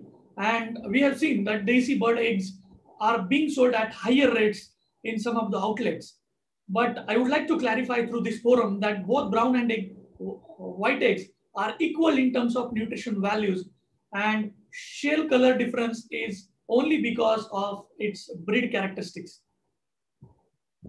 Like different breed will differ, lay different shell colored eggs. Raw eggs are um, healthier than boiled eggs. So there is no definitive advantage, but consuming a raw, raw egg can pose a risk of foodborne pathogens as compared to partially cooked or cooked protein. Also, the partially cooked or cooked protein has a better absorption in the intestine. So when you're eating a raw egg, then uh, the absorption will be poor for certain uh, vitamins because as I said, partially cooked or cooked protein has a good absorption in our body. Egg increases cholesterol. It is a very, very big myth and we have, uh, we have heard it from uh, various people. So eggs contains good cholesterol and it doesn't necessarily increase cholesterol levels. So good cholesterol is called as a high density lipoproteins. It rather helpful in reducing the bad cholesterol, which is called as a low density lipoprotein. So a healthy and active adult can easily have one to two whole eggs per day. Next myth, one should not eat egg yolk. And we have seen many people throwing egg yolks because of this fear psychosis and whatever things they have heard from their friends and family and from social media. But if you see egg yolk contains uh, cholesterol, but it does not necessarily increase your cholesterol levels. Rather, yolk contains 50% of remaining proteins, vitamins, and minerals. So if we are throwing egg yolks, then we are wasting a valuable resource of nutrients. Eating more eggs will increase the heat inside body. Egg provides only 70 to 80 kilocalorie energy depending on egg size. And consuming eggs will not at all increase heat inside your body. Because we need a 2000 to 2500 to up to 3000 calories per day. And there is nothing inside egg which will increase your metabolic heat. So uh, they contain only 70 to 80 kilocalories and it's completely a myth. We should not eat eggs in summer months. This is again very very uh, big myth but Egg provides only 70 to 80 calories and uh, it will not increase heat inside the body. So please consume eggs in summers also because in summer month, our body goes through a lot of stress and lack of nutrients and definitely eggs will help us to fight this situation. We should avoid consuming eggs due to avidin, which is an anti-nutritional factor in egg. It is not very common myth, but yes, I heard, so I thought I should put in my presentation. On cooking, avidin gets destroyed and biotin will be available for the body. So avidin interferes with the uh, uh, absorption of biotin, but if you're cooking eggs, then you don't have to worry about it. Hens are injected with steroids and hormones to get eggs. No, dear friends, no hormones and steroids are injected. Egg is a very natural product which hen starts after uh, starts laying after achieving puberty, that is four months of age. And you can visit any layer farm nearby your area. You can cross check. And I'm, I'm definitely confident that those farmers or those experts will definitely cooperate with you because no one is using any kind of hormones or steroids to produce eggs and to get eggs. It's not at all required as Dr. Mukund has explained in his presentation. The um, birds are laying good number of eggs because scientific management, good nutrition, and good biosecurity measures, and whatever genetic improvement we have got over the period of 70 to 80 years uh, uh, through uh, rigorous research by uh, various private and government institutions. We have to be very careful about plastic or Chinese eggs. So, I mean, uh, um, once in a while, these rumors comes in uh, social media and we know uh, news media nowadays how they will represent those facts. So please remember there is no plastic eggs or Chinese eggs exist. You can visit uh, Protein for Life YouTube channel to clarify. I think we have a eight minutes video and all doubts about plastic eggs or Chinese eggs, uh, you can clarify through this uh, video. I think uh, way forward, India is a young country. Kids are our future. Uh, children are our future of our nation. And we should focus on first thousand days nutrition. It is very, very important and it should be given emphasis on balanced diet, especially protein and micronutrients. And all government stakeholders, health ministry, and all NGOs should focus in this direction, should create more and more awareness. And definitely eggs can help to meet these nutrient requirements of our kids. So if you compare prevalence and severity of malnutrition, you can easily correlate it with, you can see, um, and I'm not sure if you are able to see, because see these lighter colors are a prevalence of malnutrition or wasting conditions. So you can see in areas wherever there is a good non-veg consumption, the malnutrition or malabsorption syndrome is very, very less. And, and I'm sure this is because of good protein intake. So what can help us? Egg a day and chicken three times a week can definitely help us to meet our protein requirement. And those people who are not taking uh, any kind of non-vegetarian can definitely prefer eggs. And uh, as I said, they are not non-vegetarian product. So also, even if they are not eating eggs, they should focus on meeting their protein requirements through available resources. So I think we have to make a smart choice where economic inequality conditions are there. So if he's a, a marginal farmer or marginal labor is having a shortage of money, so whatever he has, 20 rupees, 50 rupees, and he want to spend on uh, kids, um, so uh, there should be a smart choice for whether it should be egg or something else, uh, which will add, which will not add those kind of health benefits in long run. So marketing and promotion is, is very, very important.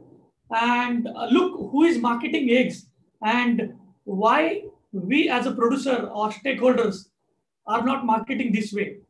I'm not sure I will be able to play this Sonakshi Okay. Hair fall control के लिए I'm not sure if you are able to hear.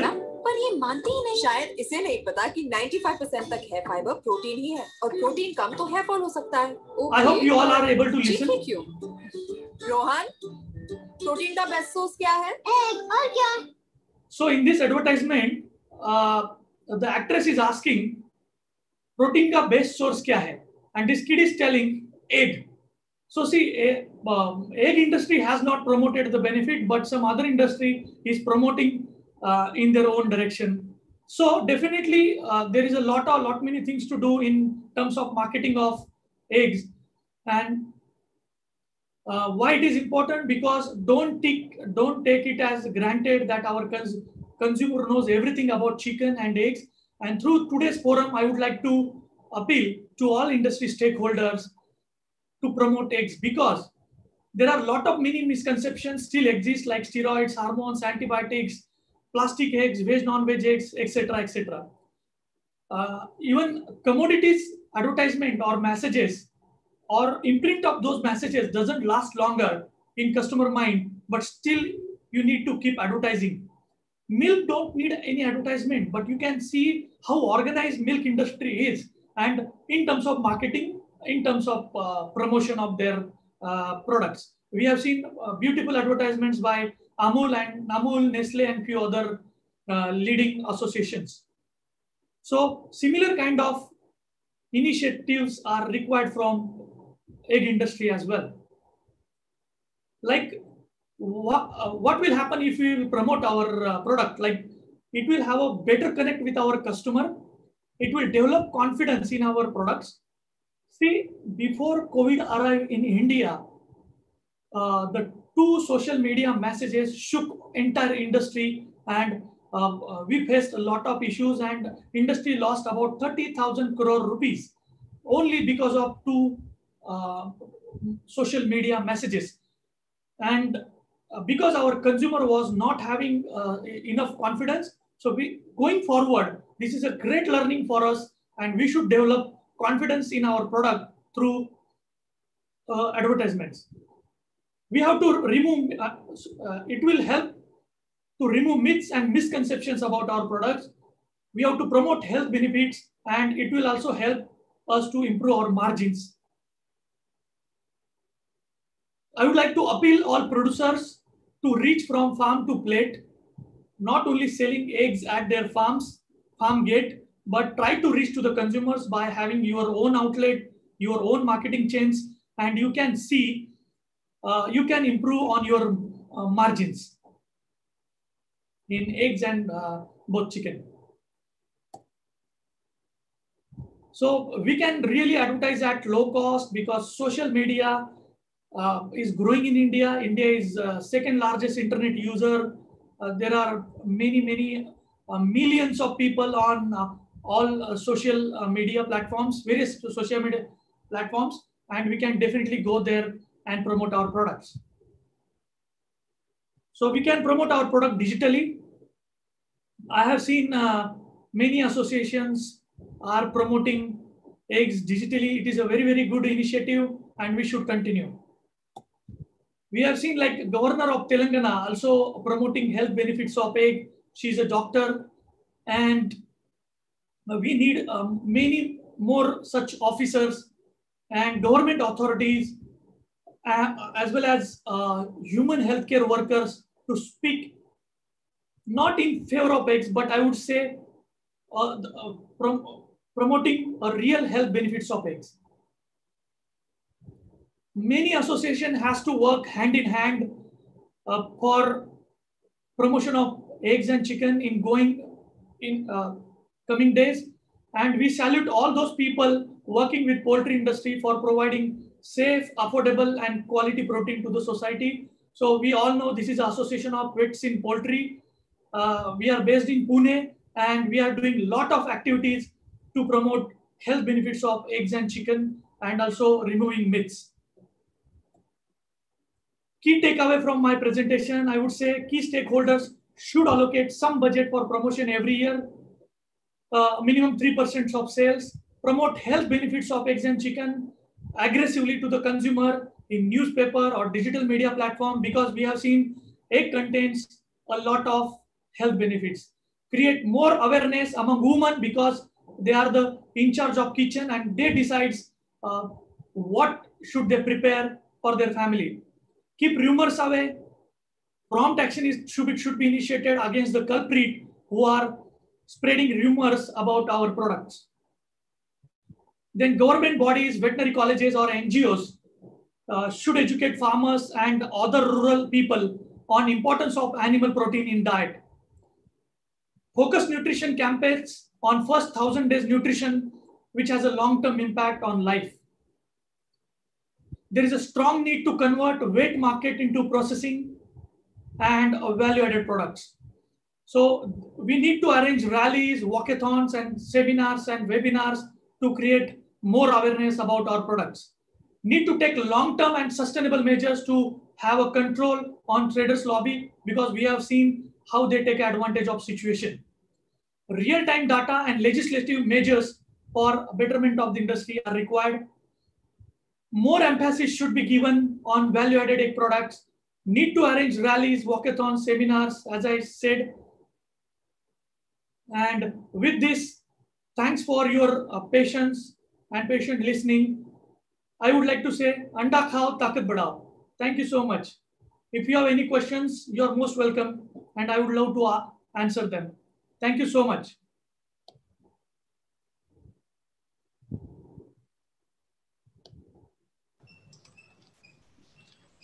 Thank you very much, sir. Uh, Dr. Mukund Kadam, please uh, be live. Uh, sir, we have few questions uh, from the audience, and uh, uh, first of all, I will I will thank you all, both presenter Dr. Mukund Kadam and Dr. Jeevan Sonwane, for this nice and informative presentation. We can see this overwhelming response on this YouTube channel, sir. Uh, more than uh, 1700 uh, live viewers are there, sir, and uh, this is uh, I think highest in our all uh, program. Uh, so they have the questions. They all have this. Uh, written. thank you very much. Very informative, very nice lectures. These are the responses from this our audience. Uh, so thank you for enlightening on all, uh, all everything about eggs and uh, brush the myths of, uh, of this uh, chicken eggs uh, from the mind. Even though we have uh, this topic is very clear, but some few questions is there. Uh, first is uh, regarding the storage of eggs, sir. Uh, uh, anybody, uh, Dr. Mukunda, Dr. Jivan can, Dr. Jivan can give the answer, or both of you have choice.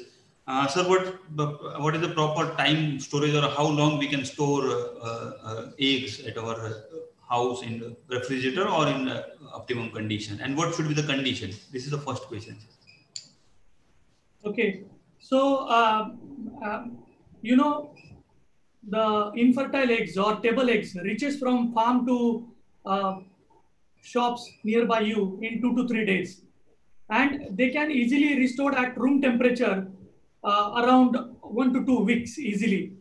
So when you bring those eggs to home, uh, I would recommend to wash them, clean them properly, and store inside the refrigerator, not not in the door of the fridge because we have seen many refrigerator companies has given a pockets where we can uh, we are storing eggs. So when we open and close door every time eggs go eggs has to go through a temperature change. So i would like to recommend those who are having a refrigerator can easily store eggs inside their home but keep deep inside the refrigerator and whenever required please remove them you can easily store it for two weeks and if you don't have a refrigerator and if you want to store, then try to store it away from direct sunlight uh, uh, in a uh, cool and darker place. And you can easily use them for around a week. You have to consume within a week's period for good taste and uh, good quality. Thank you, sir. Uh, next question is uh, to Dr. Kadam, sir. Uh, sir, we sometimes we we observe this uh, red spot in this uh, eggs. So, what is the reason, and uh, uh, what is the reason for that? Whether it is normal or not, sir. Dr. Mukund Kadam, sir, please. Yeah, uh, first I would like to add uh, for earlier question, uh, like suppose some uh, rural people are there, uh, they may not have the refrigerator with them. So in that case, I can recommend them, uh, they can have the small calcium carbonate, uh, calcium uh, liquid, and in that they can pour the egg and just dry it and keep the eggs. So that in that way also they can uh, keep the egg for around more than 15 days at room temperature because as shown in my presentation, the air passes through pores. So main aim is just to cover the pores. To cover the pores, you can have a small calcium solution. You can just pour it and you can keep those egg at room temperature more than 15 days if you don't have the refrigerator. That was the first added to the uh, Jeevan question, uh, answer. Another was the question which has raised about the blood spot. Yes, see, uh, there are some one cause is genetic cause. There are some birds, very few rather, I will say, they start laying the uh, eggs with the blood spot. But sometimes once the bird become old age, once they become the bird old aged, they are during that time, as I shown my video presentation, when the ovum releases, sometime the blood vessel get ruptured and the small red dot will attach to the ovum and that same ovum or yolk will be carried forward and the entire albumin and shell will form. And once you break the egg you will find a small red blood dot. If you keep the same egg for a long time then that dot will become a little dark color and you may feel it is a meat spot. But it's not a meat spot it's a blood spot basically. And that is just due to the either genetic reason or suppose if you have a more birds at less space stocking density is more in that case also if the bird get frightened at the time of ovulation suppose the bird get frightened chances are there the small rupture of blood vessel will be stick up to the ovum and it gives the blood spot. But again that doesn't have any uh, additional or can say the um, it will not hamper the nutritional value of the egg but by seeing you may feel you not eat but at that time you can just remove that much red spot and you can consume the egg for human diet. No issue absolutely.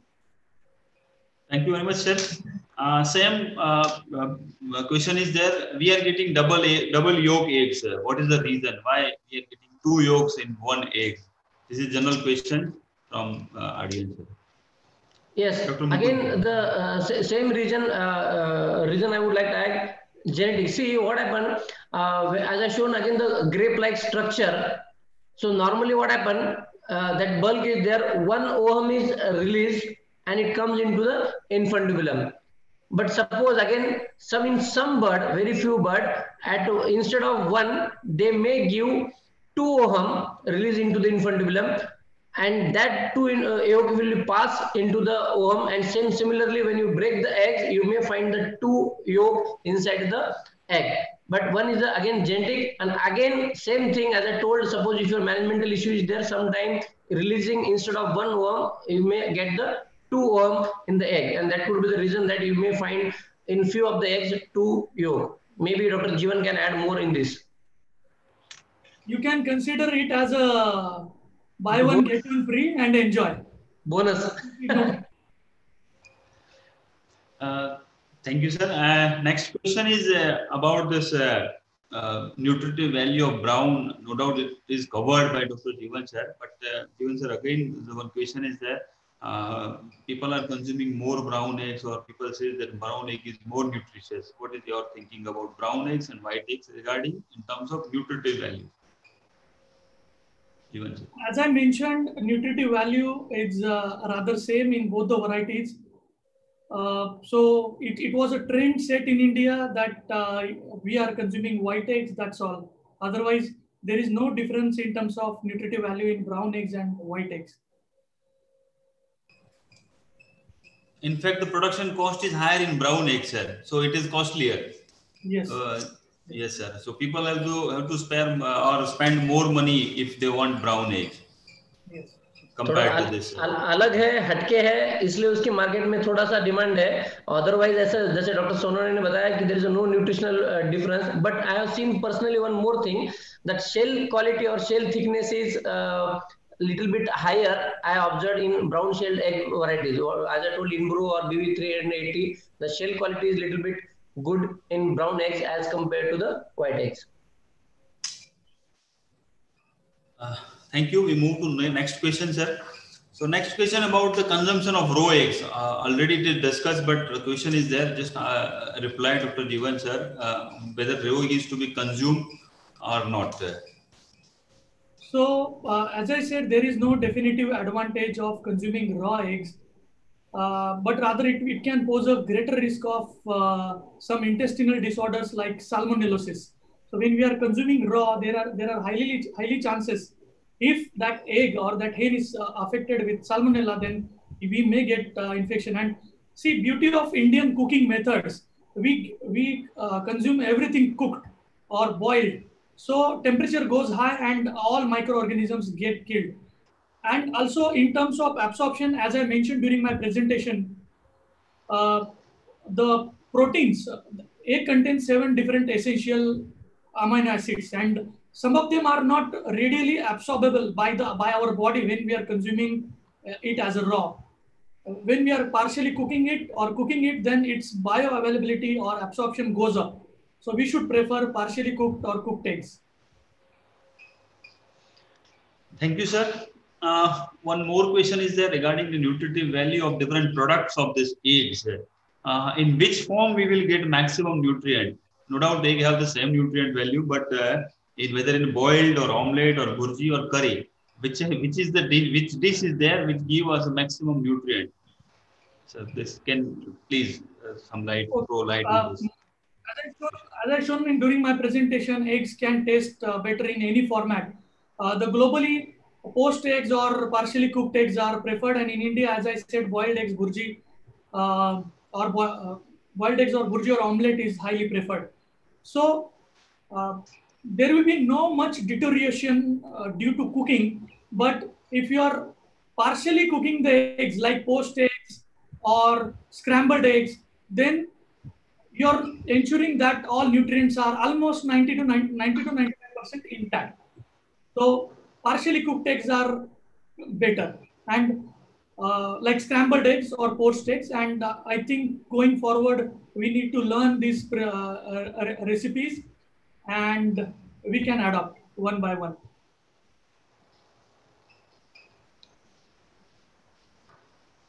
Sir, almost uh, question is is there. Uh, it is already discussed this disease transmitted to eggs, whether it is possibility or not the transmission of uh, diseases through, through this eggs. One question is there. Already it is covered by Divan sir. First, sir, you can give answer.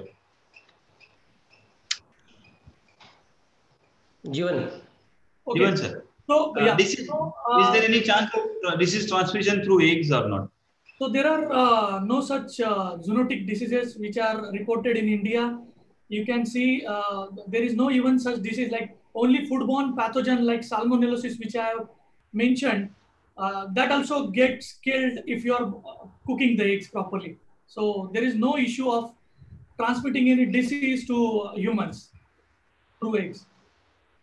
I will add one more thing in this. See, uh, if you see the in, Indian condition, as in foreign country and all, they used to consume the half-boiled eggs, poached egg and all. But in Indian condition, normally we don't prefer, or rather, it is not recommended also to have the partially cooked eggs. It's always better that you should prepare the cooked egg, boiled egg, or you can have the bhurji or anda curry and all. So once you use this egg at high heat at high temperature, there is no chance of active chance of keeping any bacteria or virus to stay in the egg. So if at all suppose if any kind of bacteria is available or is present in the egg also, but due to your method of preparation, that to special method of preparation of Indian woman, उसमें जो मसाला मिर्च उर्च इतना डाल देते हैं हम लोग तो बैक्टीरिया वायरस उसका वैसे ही मर जाता है so there is no question of any transmission of any bacteria or virus to the human being after once you boiled or cooked the egg products.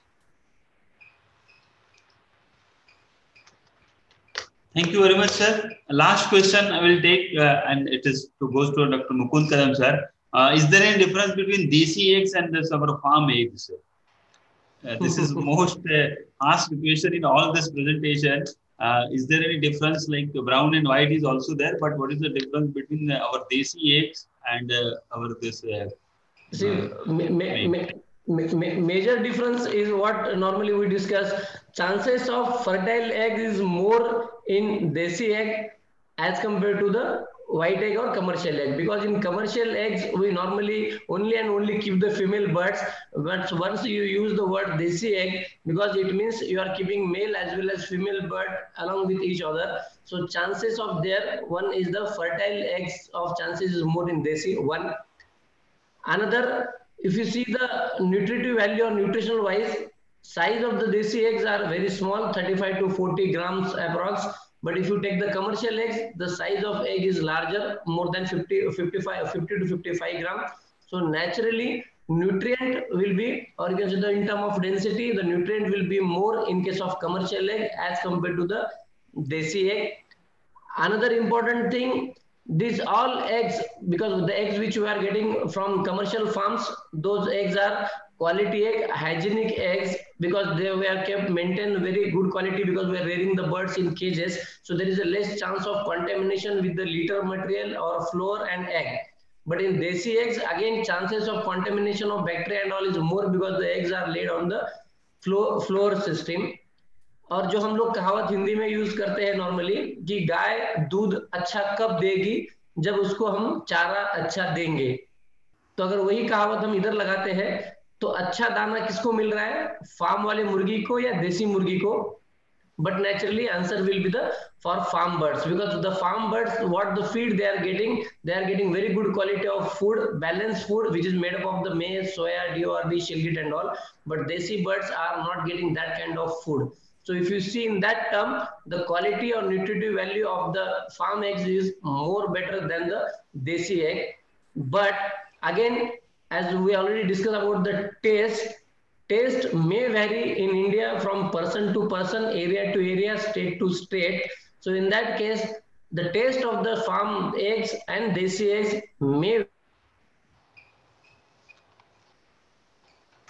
some of the people have the still uh, that mind that कि नहीं नहीं देसी अंडा बहुत tasty लगता है that could be the due to the feeding habit of the bird and एक लोगों के दिमाग में बैठा हुआ है कि नहीं it's very close to the organic also uh, not I am saying the organic, but it's close to the organic. That's why the people still have the funda कि नहीं भाई हमको देसी अंडा अच्छा लगता है एक last answer the demand and supply ratio if you ask for the 1000 or 10000 white eggs or commercial eggs anyone can supply you but if you ask anybody for the desi eggs it will, it will not be available in that much quantity so but obvious demand and supply supply is always less for desi egg so always demand is more commercial egg supply is more that's why the demand is not that much so on that basis if you see these are the two major difference between the desi eggs and commercial farm eggs Thank you very much, sir, for answering the questions of our audience, sir. Uh, now move forward. I will uh, I will invite uh, or ask Dr. Savalia, sir, for the concluding remark uh, for today's uh, uh, lecture series. Savalia, sir, please. Yes. Well, first of all, I thanks both the speakers for delivering the very informative lectures covering the everything about the eggs. The most of the topics they have covered, particularly the physiology of egg production, nutritive value and health benefit in the human diets of the egg, why eggs are incredible, designer eggs, clarifying the myths and facts, marketing of eggs. I hope this will create awareness about the nutritive value and its importance in the human diet. This will increase the consumption of uh, eggs in the Indian population and which will meet the NIN requirement. I hope this will uh, produce the healthy citizens and which will be helpful in the build-up of the nation, healthy nation. I hope uh, this is the uh, good talk, both, uh, good, uh, good lecture delivered by the both the speaker. I thanks again on the behalf of the NAHEP to Dr. Uh, uh, Kadam sir and Dr. Jivan Sonewale being present with us. I uh, now hand over to Dr. Rais Rajpura for further events.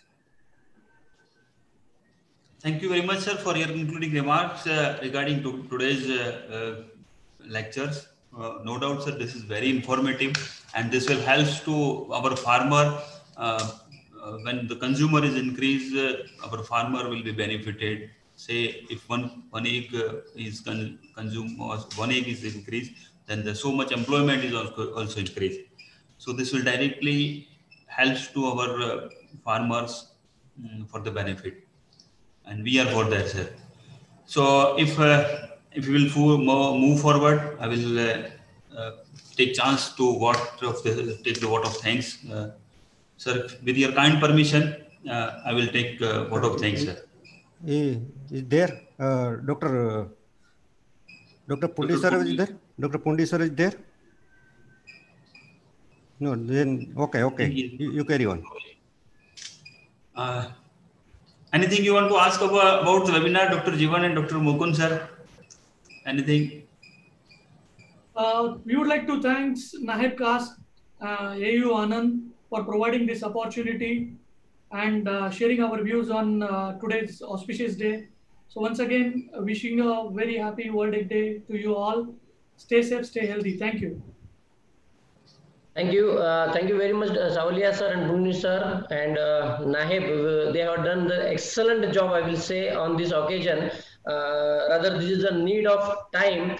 And uh, now people, as Dr. Sonan already presented in his, uh, he has told, this is a time to make our efforts not in terms of only production, production. This is now time to make our direction to awareness among the common people.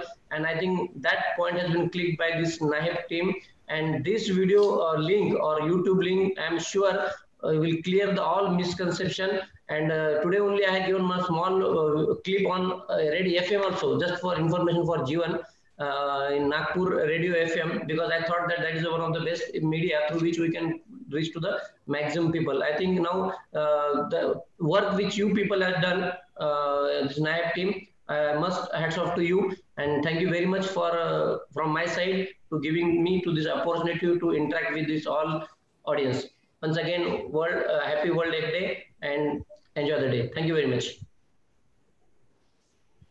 thank you very much sir both of you uh, now we'll move forward to vote of thanks once again uh, wish you very happy World Egg Day. I, Dr. Rais Rajpura, Assistant Professor, Department of Animal Science, AU Anand, on behalf of this National Agricultural Higher Education Project, NAHEP, Center for Advanced Agriculture Science and Technology, project on establishing Center for Agriculture Market Intelligence at AU Anand, the entire team, I take this opportunity to propose a vote of thanks to those who have directly or indirectly contributed and supported for the organizing a lecture series on incredible chicken eggs.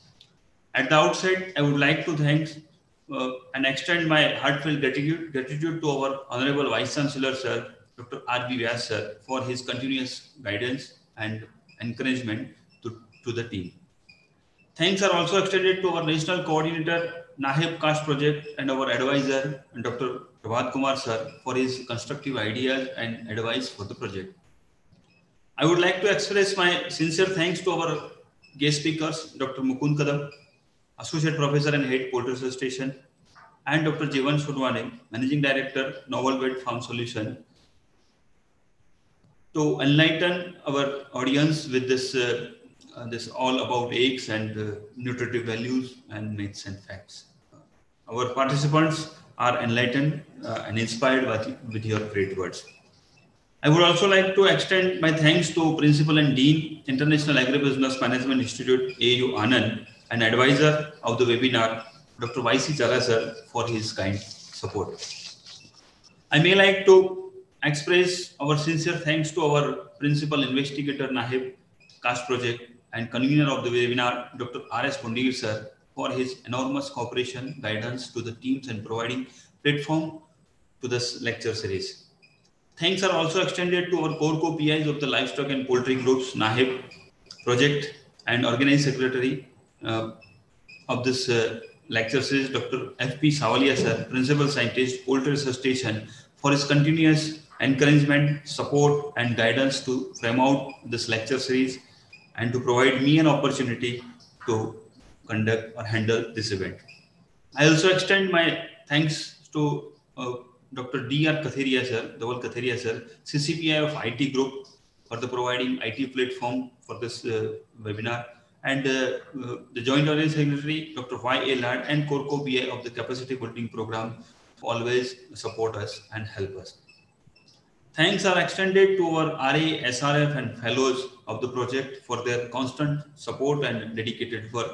A special thanks to research fellow Janki, Bhavik, Apurva, Kosha, Ayushi, Niro, and Smith for the smooth functioning or running of this uh, session. Last but not least, we express our sincere thanks to more than 1000 participants and uh, registered participants and more than 1700 uh, live viewers uh, who take uh, who devoted their times and especially the students faculty members and other stakeholders of the poultry industry who have shown their interest in making this uh, lecture series grand success i thanks all who have directly or indirectly supported to make this lecture series successful. I apologize. Lastly, I apologize if I forget any names who have supported us for this event. With these words, we move to the end of this session. Uh, dear viewers, uh, dear viewers and participants, please visit our uh, NAHEP-CAAST at eu.in website for, uh, for uh, further programs and subscribe our YouTube channel NAHEP CAAST AU Anand. Uh, this all recorded videos are available 24 by 7 on our website, so you can see anytime. Thank you, thank you once again, and uh, wishing you lots of happiness and uh, great time ahead. Stay safe, stay healthy. Thank you. Thank you very much.